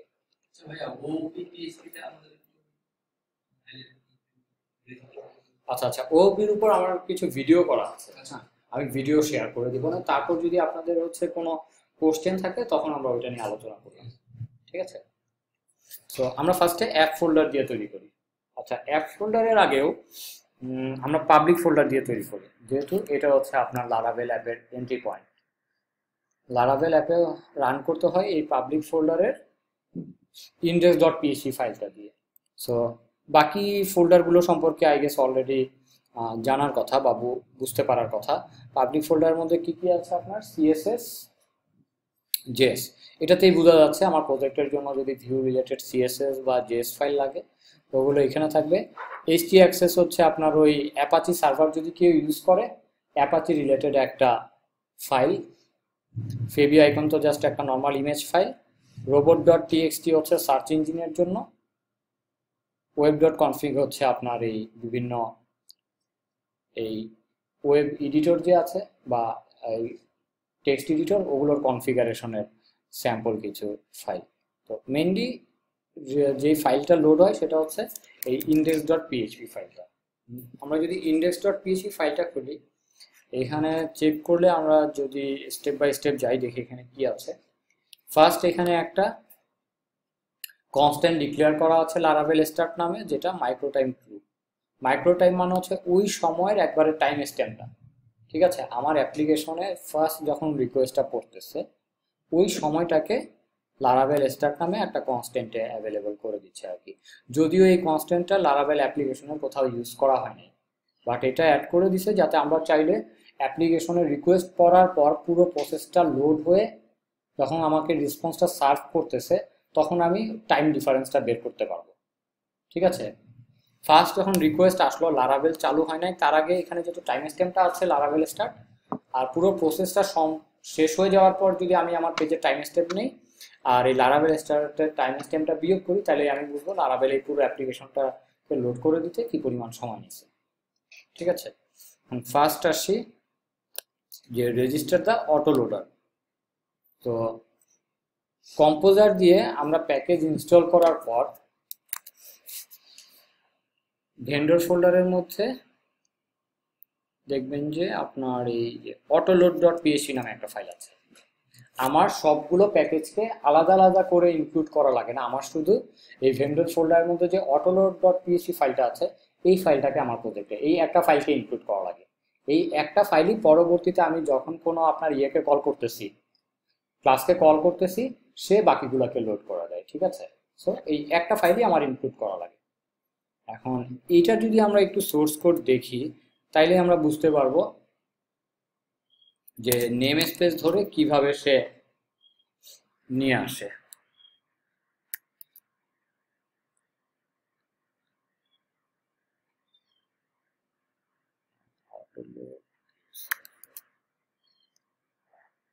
এখানে দেখেন, সে এই যে নেম স্পেসকে যে ফোল্ডার স্ট্রাকচারে হচ্ছে কনভার্ট করে রাখতেছে। প্রত্যেকবার যখন একটা প্যাকেজ ইনস্টল হয় প্রত্যেকবার যাতে তার প্রোগ্রামেটিক্যালি হচ্ছে যে কনভার্ট করা না লাগে নেম স্পেসকে এই ফোল্ডার নেমে কারণ প্রত্যেকবার যদি সে নেম স্পেসকে ফোল্ডার নেমে কনভার্ট করে প্রসেস করতে সময় লাগবে না। এই কারণে করে কি, সে যখনই আমি কোনো প্যাকেজ ইনস্টল করি, তারপর কম্পোজার অটোমেটিক্যালি এই যে আপনার নেম স্পেসগুলোকে ফোল্ডার নেমে হচ্ছে কনভার্ট করে ফেলে।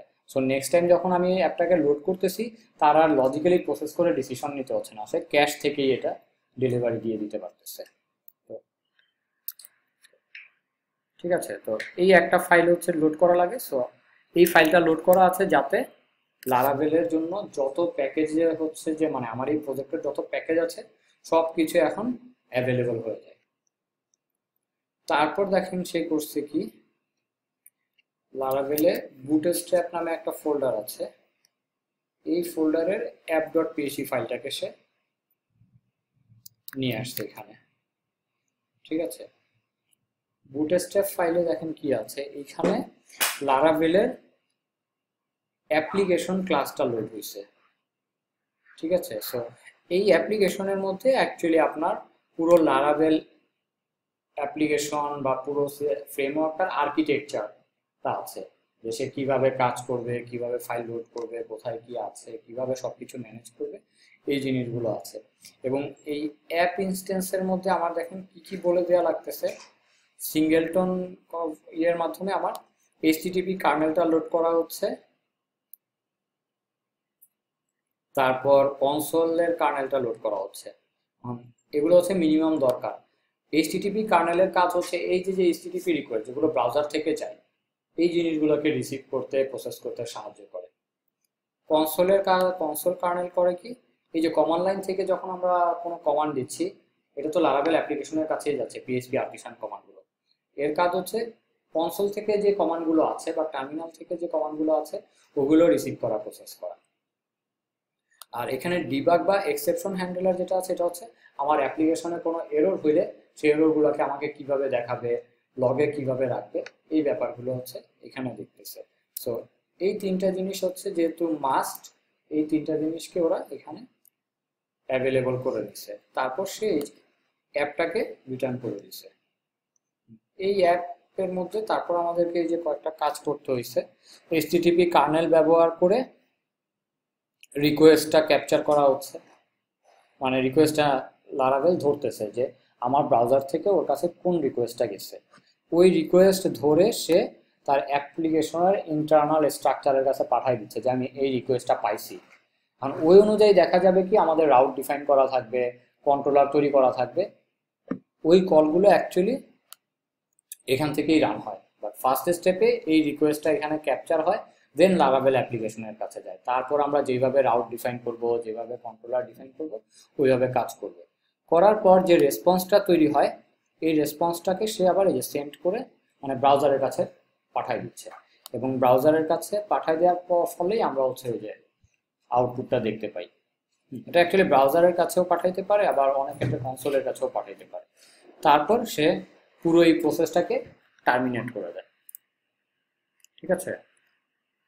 এটা হচ্ছে লারাবেলের একেবারে স্টার্টেড হচ্ছে ফাইলটা যেটার মাধ্যমে লারাবেল অ্যাপ্লিকেশনটা পুরো সব কিছু প্রসেস করে।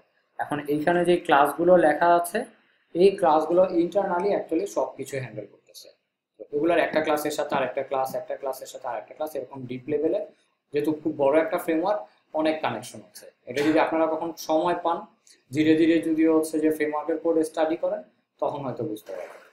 ঠিক আছে? আপাতত জাস্ট এতটুকুই জেনে রাখা বেটার যে এই ফাইলটার মাধ্যমেই অ্যাকচুয়ালি লারাবেল পুরো অ্যাপ্লিকেশনটাকে রান হয়।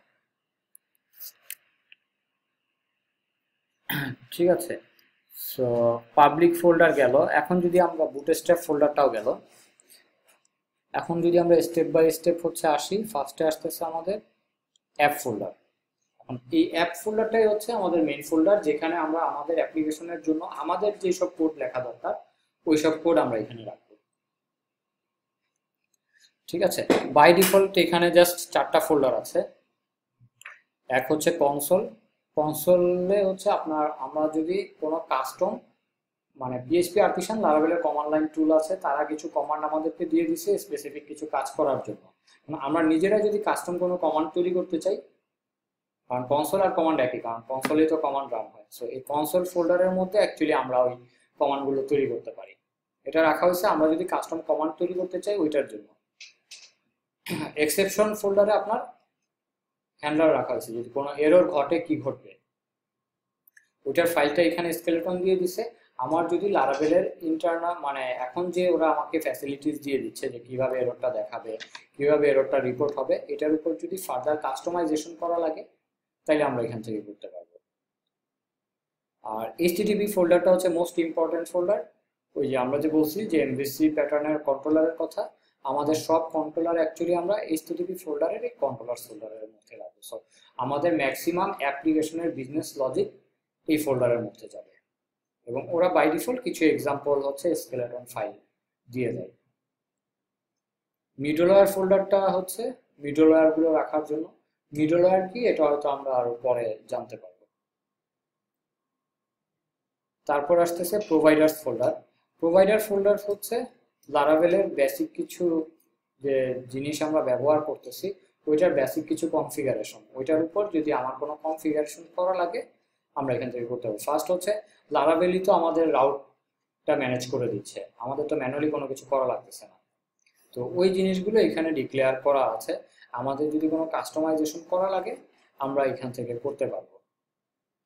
অ্যাপ সার্ভিস প্রোভাইডারেও দেওয়া আছে। আমাদের যদি লারাভেল যে অ্যাপটা মানে পুরো অ্যাপ্লিকেশনটা আমাদেরকে রান করে দিচ্ছে, এটার মধ্যে কোথাও যদি আমাদেরকে এক্সটেন্ড করা লাগে স্পেসিফিক কোনো কিছু, ওইটা আমরা এখান থেকে করতে পারব। ওরা যেমন এই যে বেসিক স্কেলেটনটা রেডি করে, আমাদেরকে এই যে ফাঁকা মেথড অ্যাভেলেবল করে দিছে। আমি চাইলে এটার মধ্যেই এক্সটেন্ড করে নিতে পারব কোড লিখে। তারপর অথ সার্ভিস প্রোভাইডার আছে। অথ সার্ভিস প্রোভাইডার হচ্ছে আপনার এই যে অথেন্টিকেশন অথরাইজেশন এই জিনিসগুলো তো বলছি যে কমন সো একটা ভালো ফ্রেমওয়ার্ক এই জিনিসগুলো তো অটোমেটিক্যালি দিয়ে দেওয়ার কথা। লারাভেলও আমাদের জন্য এই জিনিসগুলো এই যে অটোমেটিক্যালি দিয়ে দিচ্ছে। আমাদের যদি ওইটার উপরে কোনো কাস্টমাইজেশন করা লাগে আমরা এখান থেকে করতে করতে পারব। তো এইরকম কিছু জিনিস হচ্ছে যেখানে দেওয়া আছে এগুলো হয়তো আমরা স্পেসিফিক যদি ওই ফিচারটা নিয়ে যখন কাজ করব তখন আরও ডিটেলস জানতে পারব। তো আছে, বর্তমানে সিম্ফনি টিমফনি সবগুলোতেই আছে।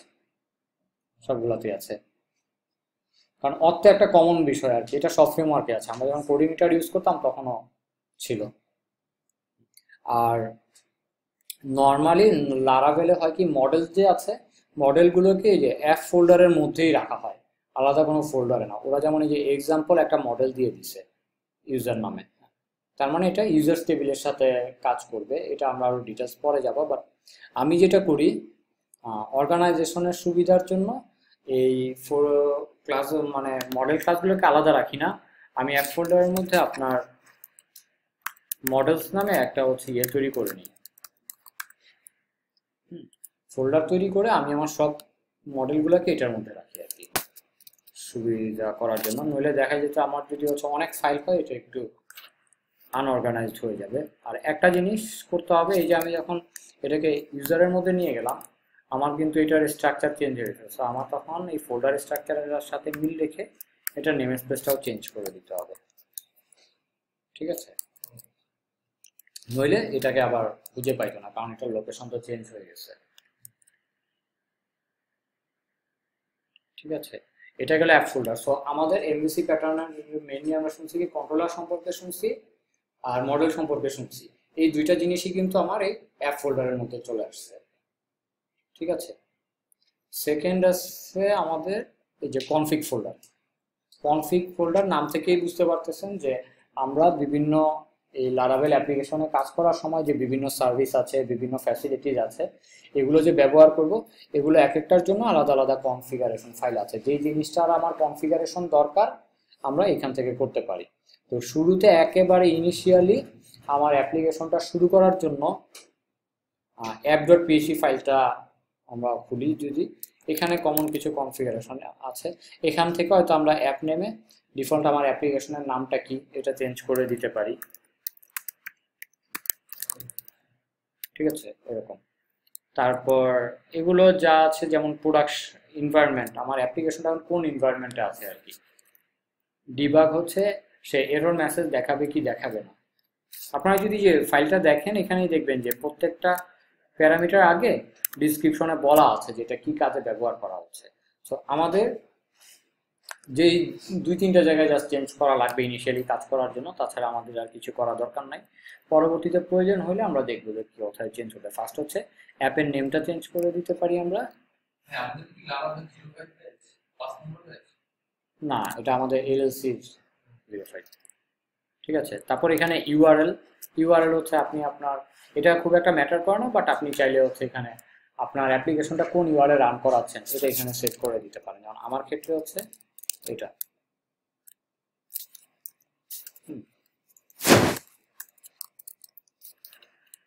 টাইম জোন আমরা যেহেতু ঢাকাতে আছি, আমরা এশিয়া স্ল্যাশ ঢাকা।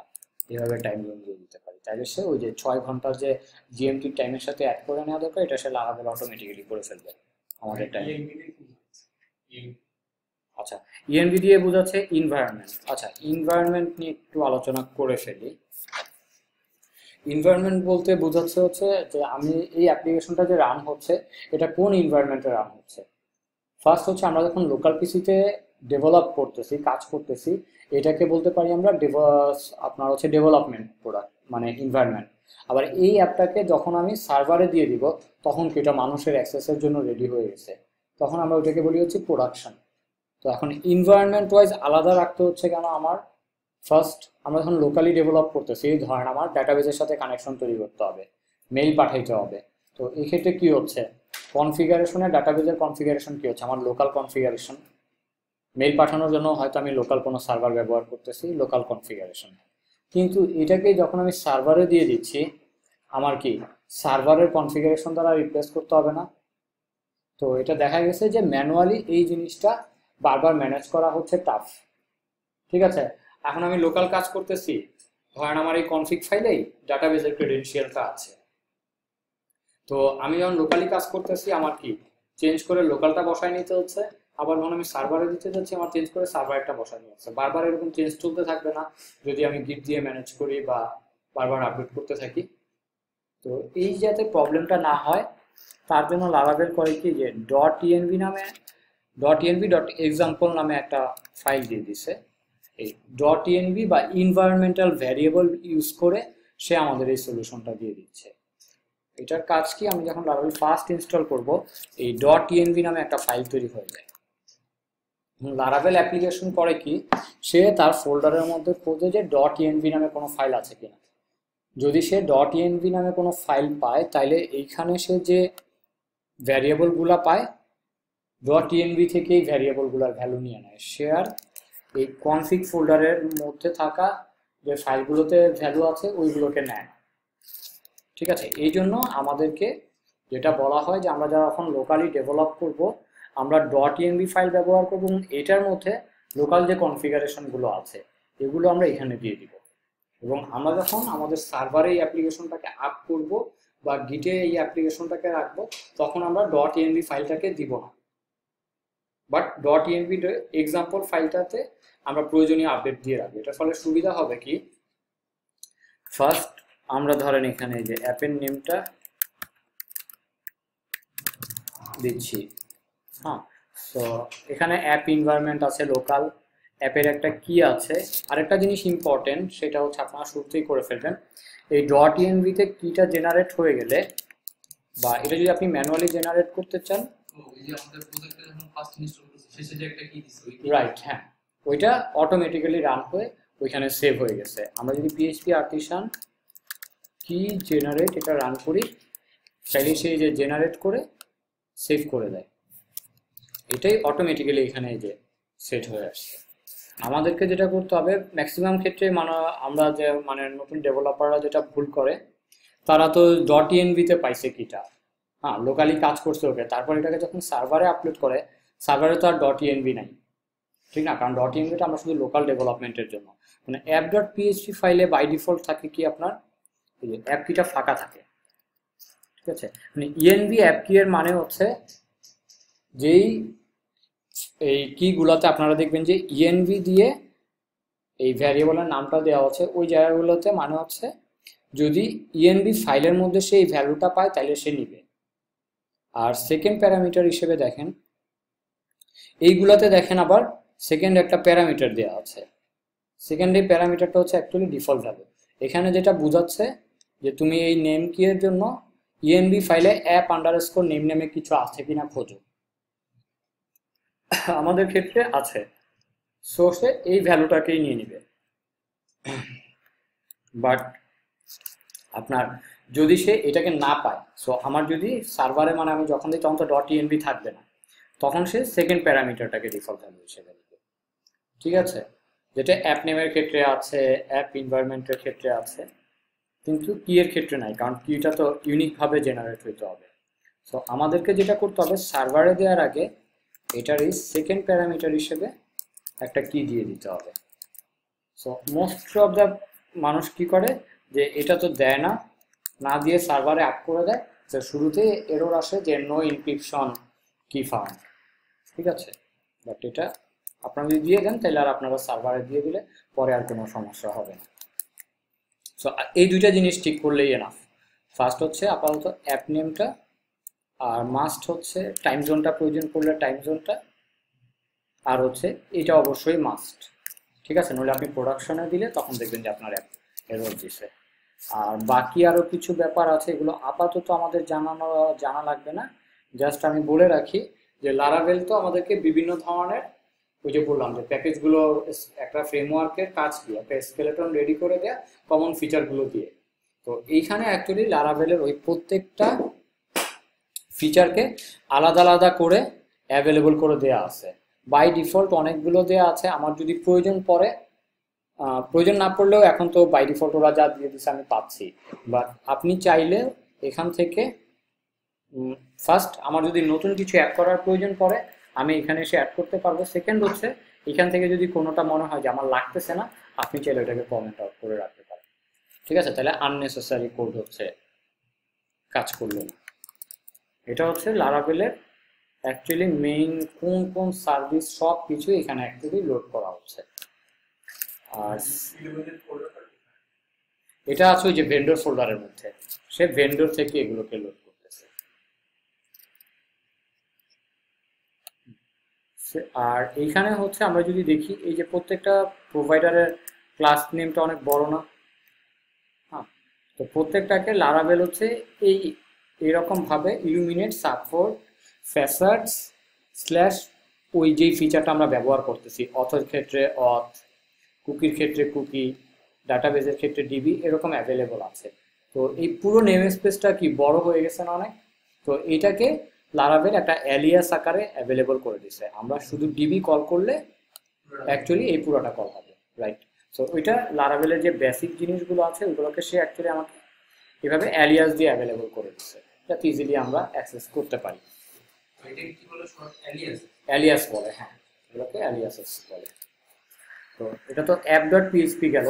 আপাতত আমরা অথ নিয়ে কাজ করতেছি না। আর কোনোটা নিয়ে আপাতত আমরা কাজ করতেছি না। আরেকটা জিনিস আমরা জেনে রাখি শুধু ডাটাবেস ডট পিএইচপি ফাইলটা সম্পর্কে কারণ আমাদের অ্যাপ্লিকেশনে ডাটাবেস লাগবে।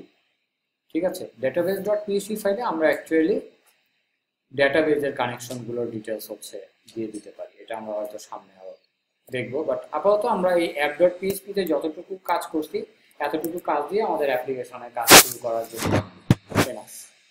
আর আমরা অ্যাকচুয়ালি যেহেতু ডেভেলপমেন্ট এনভায়রনমেন্টে আছি, আমি আমার ডট ইএমপি ফাইলে হচ্ছে সব কিছু এইভাবে আপডেট করে নিব ফার্স্ট নেমটা হচ্ছে, যদি আপনার কোনো কারণে দেখেন যে ডট ইএমবি ফাইলটা তৈরি হয় নাই, আপনি এই ডট ইএমবি ডট এক্সাম্পল ফাইলটাকে কপি করে ডট ইএমবি ফাইল মানে এটার একটা কপি করে ডট ইএমবি নাম দিয়ে দেবে তাইলেই হবে।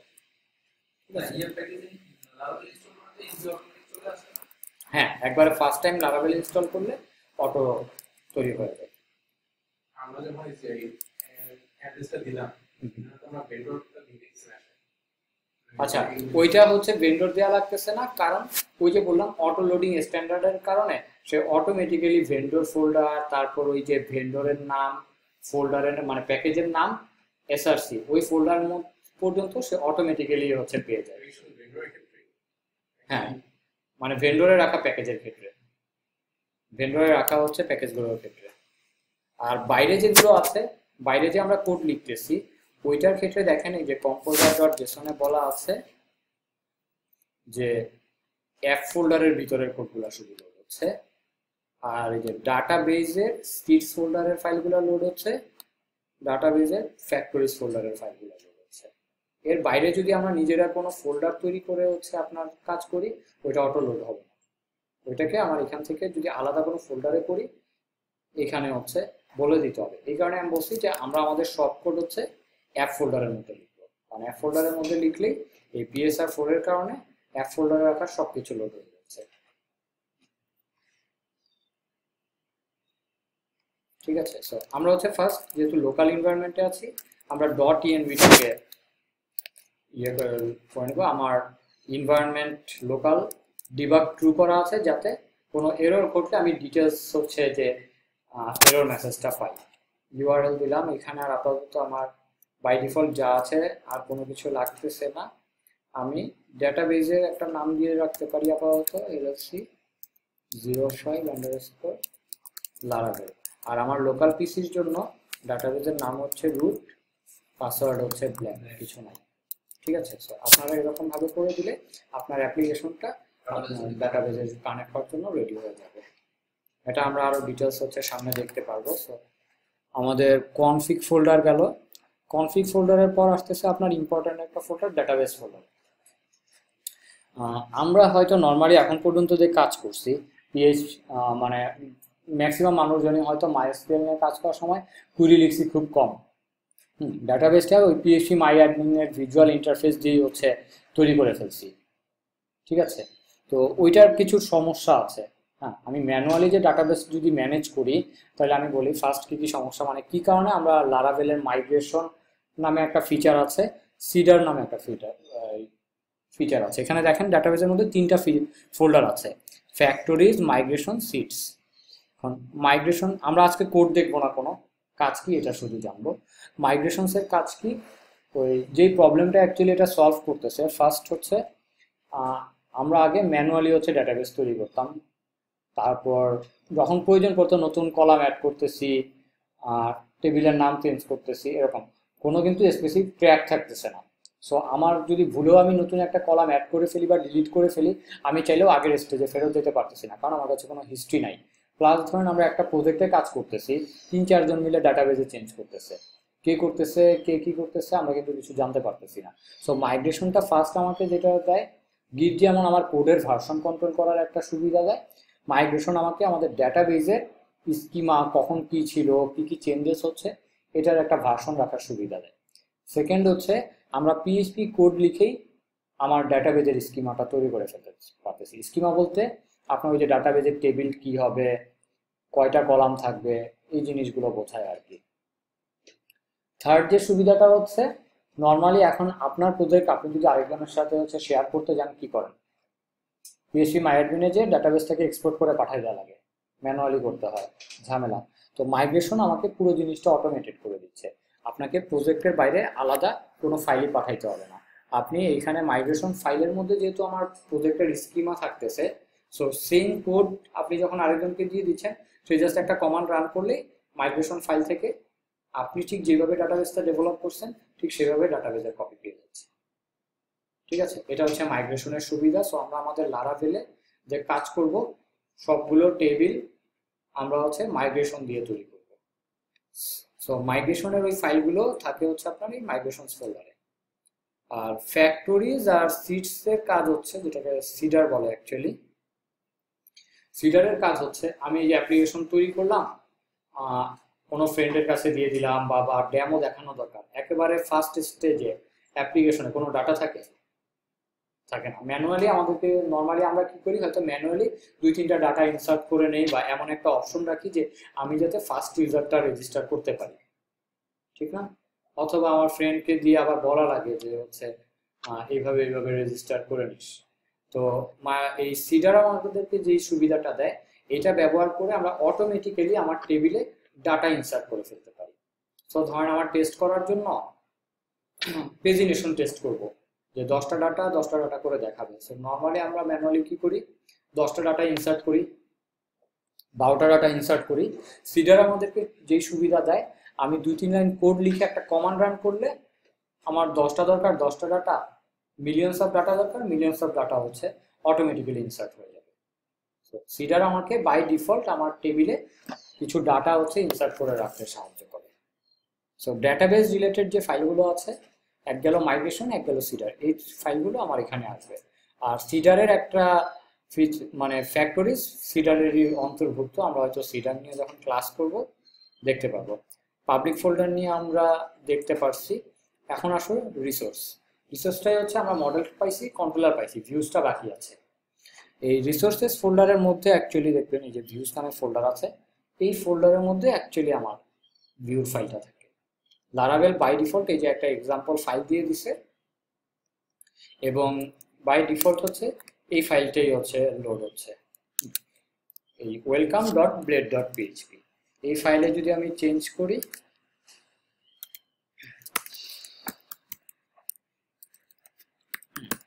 আমরা আমাদের অ্যাপের ওই কনফিগ ফোল্ডারের মধ্যে অ্যাপ ডট পিএইচপি ফাইলের নেমে অ্যাপের একটা নাম দিছি না ডিফাইন করছি না আমরা ডট ইএনভিতে এই যে অ্যাপ নেম এটাকে আমরা ডাইনামিক ভাবে এখানে নিয়ে আসতে পারি। এখন এই যে লারাভেল আছে, এখন সো এই ভিউটাই লোড হচ্ছে। এই ভিউতে আমরা যেই চেঞ্জেস করব ওই চেঞ্জেসের ইম্প্যাক্টই আমরা হচ্ছে ওইখানে দেখতে পাবো। তো এটা আমি লারাভেলের একটা হেল্পার ফাংশন ব্যবহার করতেছি। এইগুলো সম্পর্কে আমরা কাজ করতে যে আরও ডিটেলস হচ্ছে ধীরে ধীরে জানতে পারব। ঠিক আছে? সো আমাদের সব টেমপ্লেট রিলেটেড বা ভিউ রিলেটেড ফাইলগুলো হচ্ছে রিসোর্সেস এর মধ্যে এই ভিউজ ফাইলে থাকবে। ঠিক আছে? আর ভিউর সাথে রিলেটেড কিছু ফাইল থাকতে পারে, যেমন ল্যাং ল্যাঙ্গুয়েজ ফাইল হচ্ছে আমরা যদি মাল্টি লিঙ্গুয়াল ওয়েবসাইট করতে চাই। যেমন সেম ওয়েবসাইটই ল্যাঙ্গুয়েজ সিলেক্ট করলে বাংলা দেখাবে ল্যাঙ্গুয়েজ সিলেক্ট করলে ইংলিশ দেখাবে। ওই ডাটাগুলো স্ট্রিংগুলোকে আমরা এখানে হচ্ছে আলাদাভাবে রাখতে পারি। আর অ্যাসেটস নামে একটা ফোল্ডার আছে, এটার মধ্যে অ্যাকচুয়ালি আমার অ্যাপ্লিকেশনের জন্য জাভা স্ক্রিপ্ট সিএসএস যে ফাইলগুলো দরকার, ওইগুলো আমরা এখানে রাখতে পারি। সো রিসোর্সেস ফোল্ডারটা পুরোপুরি আপনার ভিউর সাথে রিলেটেড ভিউ রিলেটেড সব কিছুই এটার মধ্যে থাকতেছে আমরা প্রায় ফোল্ডার আর্কিটেকচারের শেষের দিকে চলে আসছি রাউট এটা হচ্ছে ইম্পর্টেন্ট আমরা বারবার রাউটের কথা বলতেছিলাম না যে আমাদের অ্যাপ্লিকেশনের অ্যাকচুয়ালি এন্ট্রি পয়েন্টে হচ্ছে কি? ওয়েব অ্যাপ্লিকেশন থেকে আমার লারাবেল অ্যাপে রিকোয়েস্ট আসলো। এখন কোন রিকোয়েস্ট আসলে সে কি করবে? এটাই আমরা বলতে পারব হচ্ছে এই রাউটসে রাউটসে চারটা ফাইল আছে। আমরা বাকি তিনটা ফাইল নিয়ে আপাতত আলোচনা করব না। আমরা আজকে শুধু ওয়েব ডট পিএইচপি নিয়ে আলোচনা করি। আর বাকিটার সম্পর্কে একটু বলে দেবো। এইখানে দেখেন এই যে লারাবেলের এটা সিনটেক্স এটা সম্পর্কে আমরা ডিটেলস জানব। আজকে জাস্ট বুঝি যে এখানে দেখেন এই যে বলা আছে গেট মেথডে কেউ যদি স্ল্যাশ স্ল্যাশ মানে আমার অ্যাপ্লিকেশনের রুট রুটে হিট করে, তাহলে সে কি করছে? যে একটা অ্যানোনিমাস ফাংশন রান করে যে ভিউ ওয়েলকাম ঠিক আছে? তাহলে সে কি বলে দিল এখানে? যে কেউ যদি আমার অ্যাপ্লিকেশনের রাউটে আসে, তাহলে তুমি ওয়েলকাম যে ভিউ ফাইলটা আছে এটাকে দেখায় দাও। এই ভিউ ফাইলটা আবার এমনভাবে কনফিগার করা আছে যে এই ভিউ ফাংশনটা অটোমেটিক্যালি এই রিসোর্সের ফোল্ডারের ভিউজ পর্যন্ত রুট হিসেবে আছে সে এটার মধ্যে ফাইল খোঁজা শুরু করে। সো ওয়েলকাম নামে এই যে ফাইলটা আছে। আর ফাইলের যে এক্সটেনশন আছে ডট ব্লেড ডট পিএইচপি এটা আমাদের বলে দেওয়া লাগে না। এটা অটোমেটিক্যালি সে নিয়ে নেয়। যার কারণে আমরা এটা দেখতে পাচ্ছি। ঠিক আছে? আমি যদি এটা চেঞ্জ করে দেই হ্যাঁ এখন এখানে তো ইন্ডেক্স নামে কোনো ফাইল কি আছে? হ্যাঁ সে এখন আমাকে এরর দিবে যে ভিউ নট ফাউন্ড এই যে ইন্ডেক্স নামে কোনো ভিউ নাই। বাট আমি যদি জাস্ট এই ফাইলটাকে রিনেম করে দিই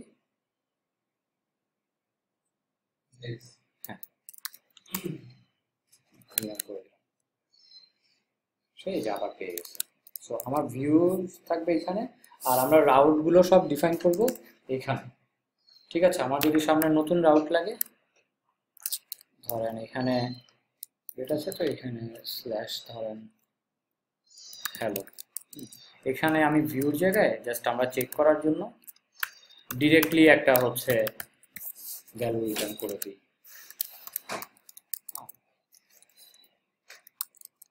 তো এখন যদি আমি আমার অ্যাপ্লিকেশন থেকে যে হ্যালো ভিজিট করি, সে দেখেন এখানে তো আমরা কোনো ভিউ টেমপ্লেট লোড করি নাই ডিরেক্ট আউটপুট দিয়ে দিচ্ছি যার কারণে সে ডিরেক্ট আউটপুট দেখা দিচ্ছে। সো এইভাবে আমরা আমাদের প্রয়োজন অনুযায়ী এখানে সব রাউটগুলো ডিফাইন করব।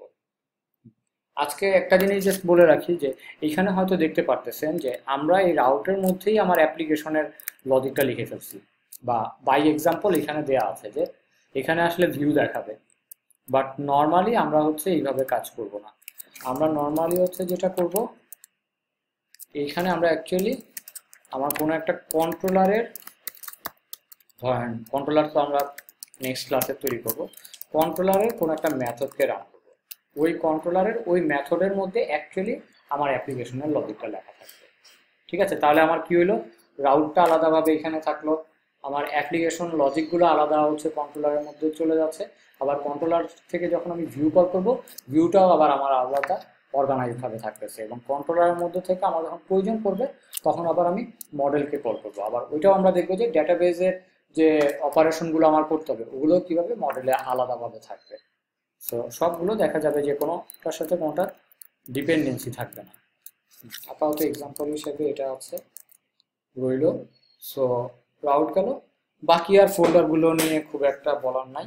ভেন্ডর ফোল্ডার সম্পর্কে তো অলরেডি বলছি এটা অ্যাকচুয়ালি কম্পোজারের ফোল্ডার সে এখানে যখন ভেন্ডরকে ভেন্ডরের মধ্যে কাজগুলোকে হুম। কল করে হ্যাঁ।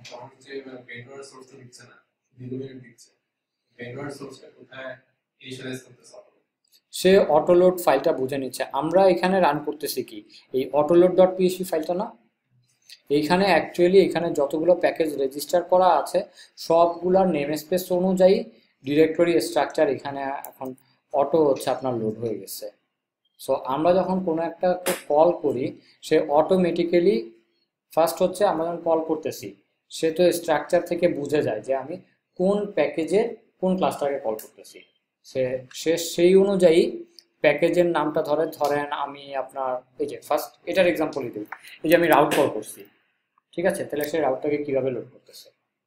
এখন স্টেপ বাই স্টেপ যদি যাই, আমাদের অ্যাপ ডট পিএইচপি ফাইলটাতে আসি। এখানে দেখেন রাউটের জন্য এই যে রাউটের জন্য সে ফ্যাসাড বলে দিছে কি? ইলুমিনেট সাপোর্ট ফ্যাসাড রাউট তাহলে কি এটা কল হচ্ছে? এইটা কল হচ্ছে, তার মানে কিছুটা জাস্ট এক্সাম্পলের জন্য বলতেছি। অ্যাকচুয়ালি ধরেন এরকম কিছু একটা কল হচ্ছে। এইটাকে যদি আমরা হচ্ছে এখন আমাদের স্ট্রাকচারের কথা চিন্তা করি slash support slash facets এটার মধ্যে route ডট পিএইচপি নামে ফাইল থাকবে, ঠিক আছে? এরকম জায়গা থেকেই তো লোড করতে চাইলে সে এখন চেষ্টা করবে রাইট এরকম। তো আমরা যদি এখন ভেন্ডর ফোল্ডারের মধ্যে যাই, এখন ভেন্ডর ফোল্ডারের মধ্যে যেটা হয়, সে এই রাউটটাকে দেখে যে এখন এই অটোলোড ডট পিসি ফাইলটা অলরেডি যেটা করছে কি, এই প্রত্যেকটা প্যাকেজের মধ্যে যত নেম স্পেস আছে, সবগুলোর জন্য ফোল্ডার আর্কিটেকচার কি সে তৈরি করে ফেলছে। এটাও আমরা দেখতে পারি কীভাবে যে অটোলোড ডট পিএসপি লোডার তারপরে SPL autoload register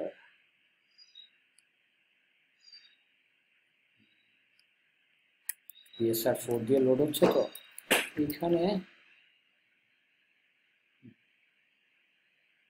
এই যে দেখেন, এইখানে ইলুমিনেট যে আছে, এই নেম স্পেসের রুটটাকে কোন পর্যন্ত সে পয়েন্ট করে ফেলছে ভেন্ডর ডিরেক্টরি ভেন্ডর ডিরেক্টরি বলতে বোঝানো হচ্ছে ভেন্ডর ফোল্ডার তারপর এটার মধ্যে লারাভেল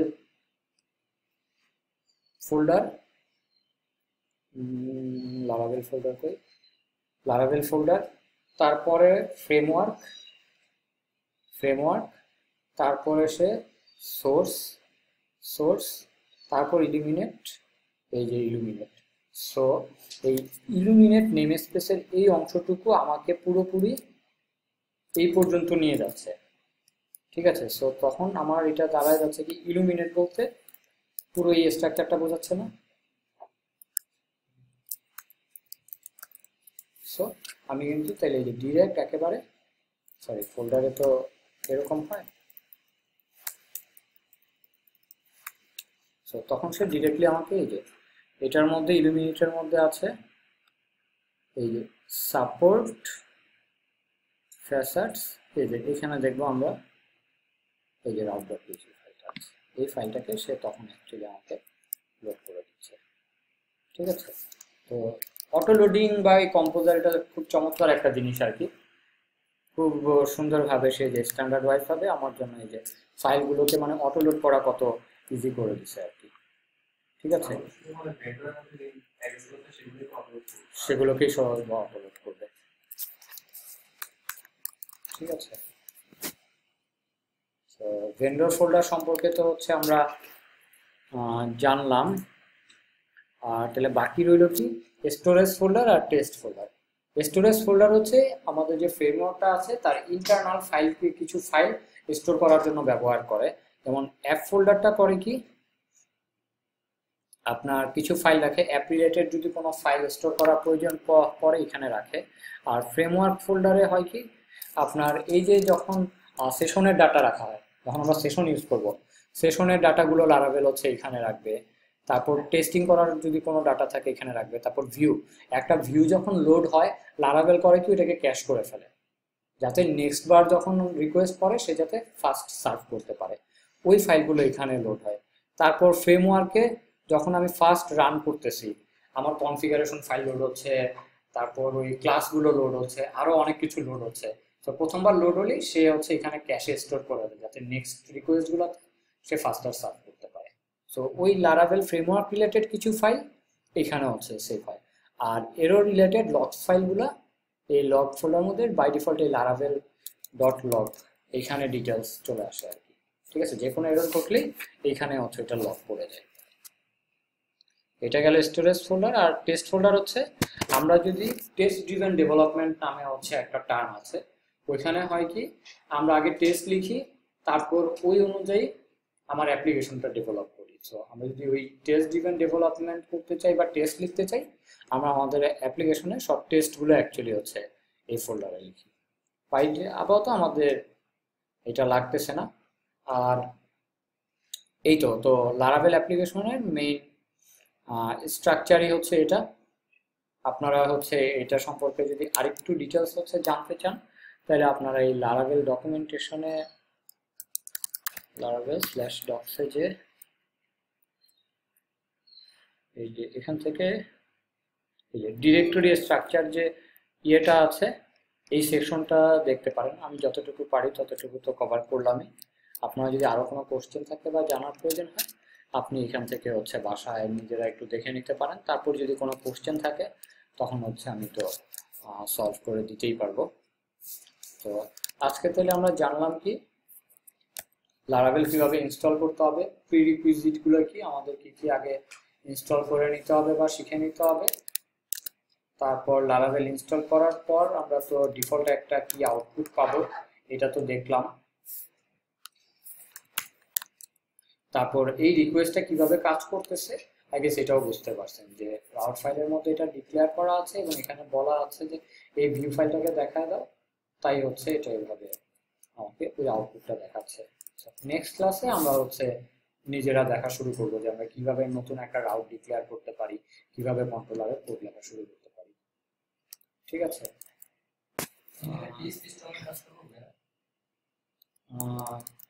এটা আপনার ইচ্ছা। ঠিক আছে? তো আজকে এই পর্যন্তই। আপনাদের যদি আর কোনো কোশ্চেন থাকে তাহলে জিজ্ঞেস করতে পারেন। আর হয়তো বাসায় যদি যখন কাজ করা শুরু করবেন মেনলি এখন তো ক্লাস শেষে তো সাথে সাথে কোশ্চেন থাকে না আর কি। কাজ করতে গেলে হয়তো তখন বোঝা যাবে যে কোনো কিছু আছে কিনা। নেক্সট হ্যাঁ? ক্লাস বলতে হচ্ছে রমজান মাসে হচ্ছে যে এরকম ছোট করে একটু ক্লাস নেব আমরা দুই আড়াই দুই ঘণ্টার মতো। তারপর রমজান মাস শেষ হয়ে গেলে আমরা তিন ঘণ্টার ক্লাস নেব।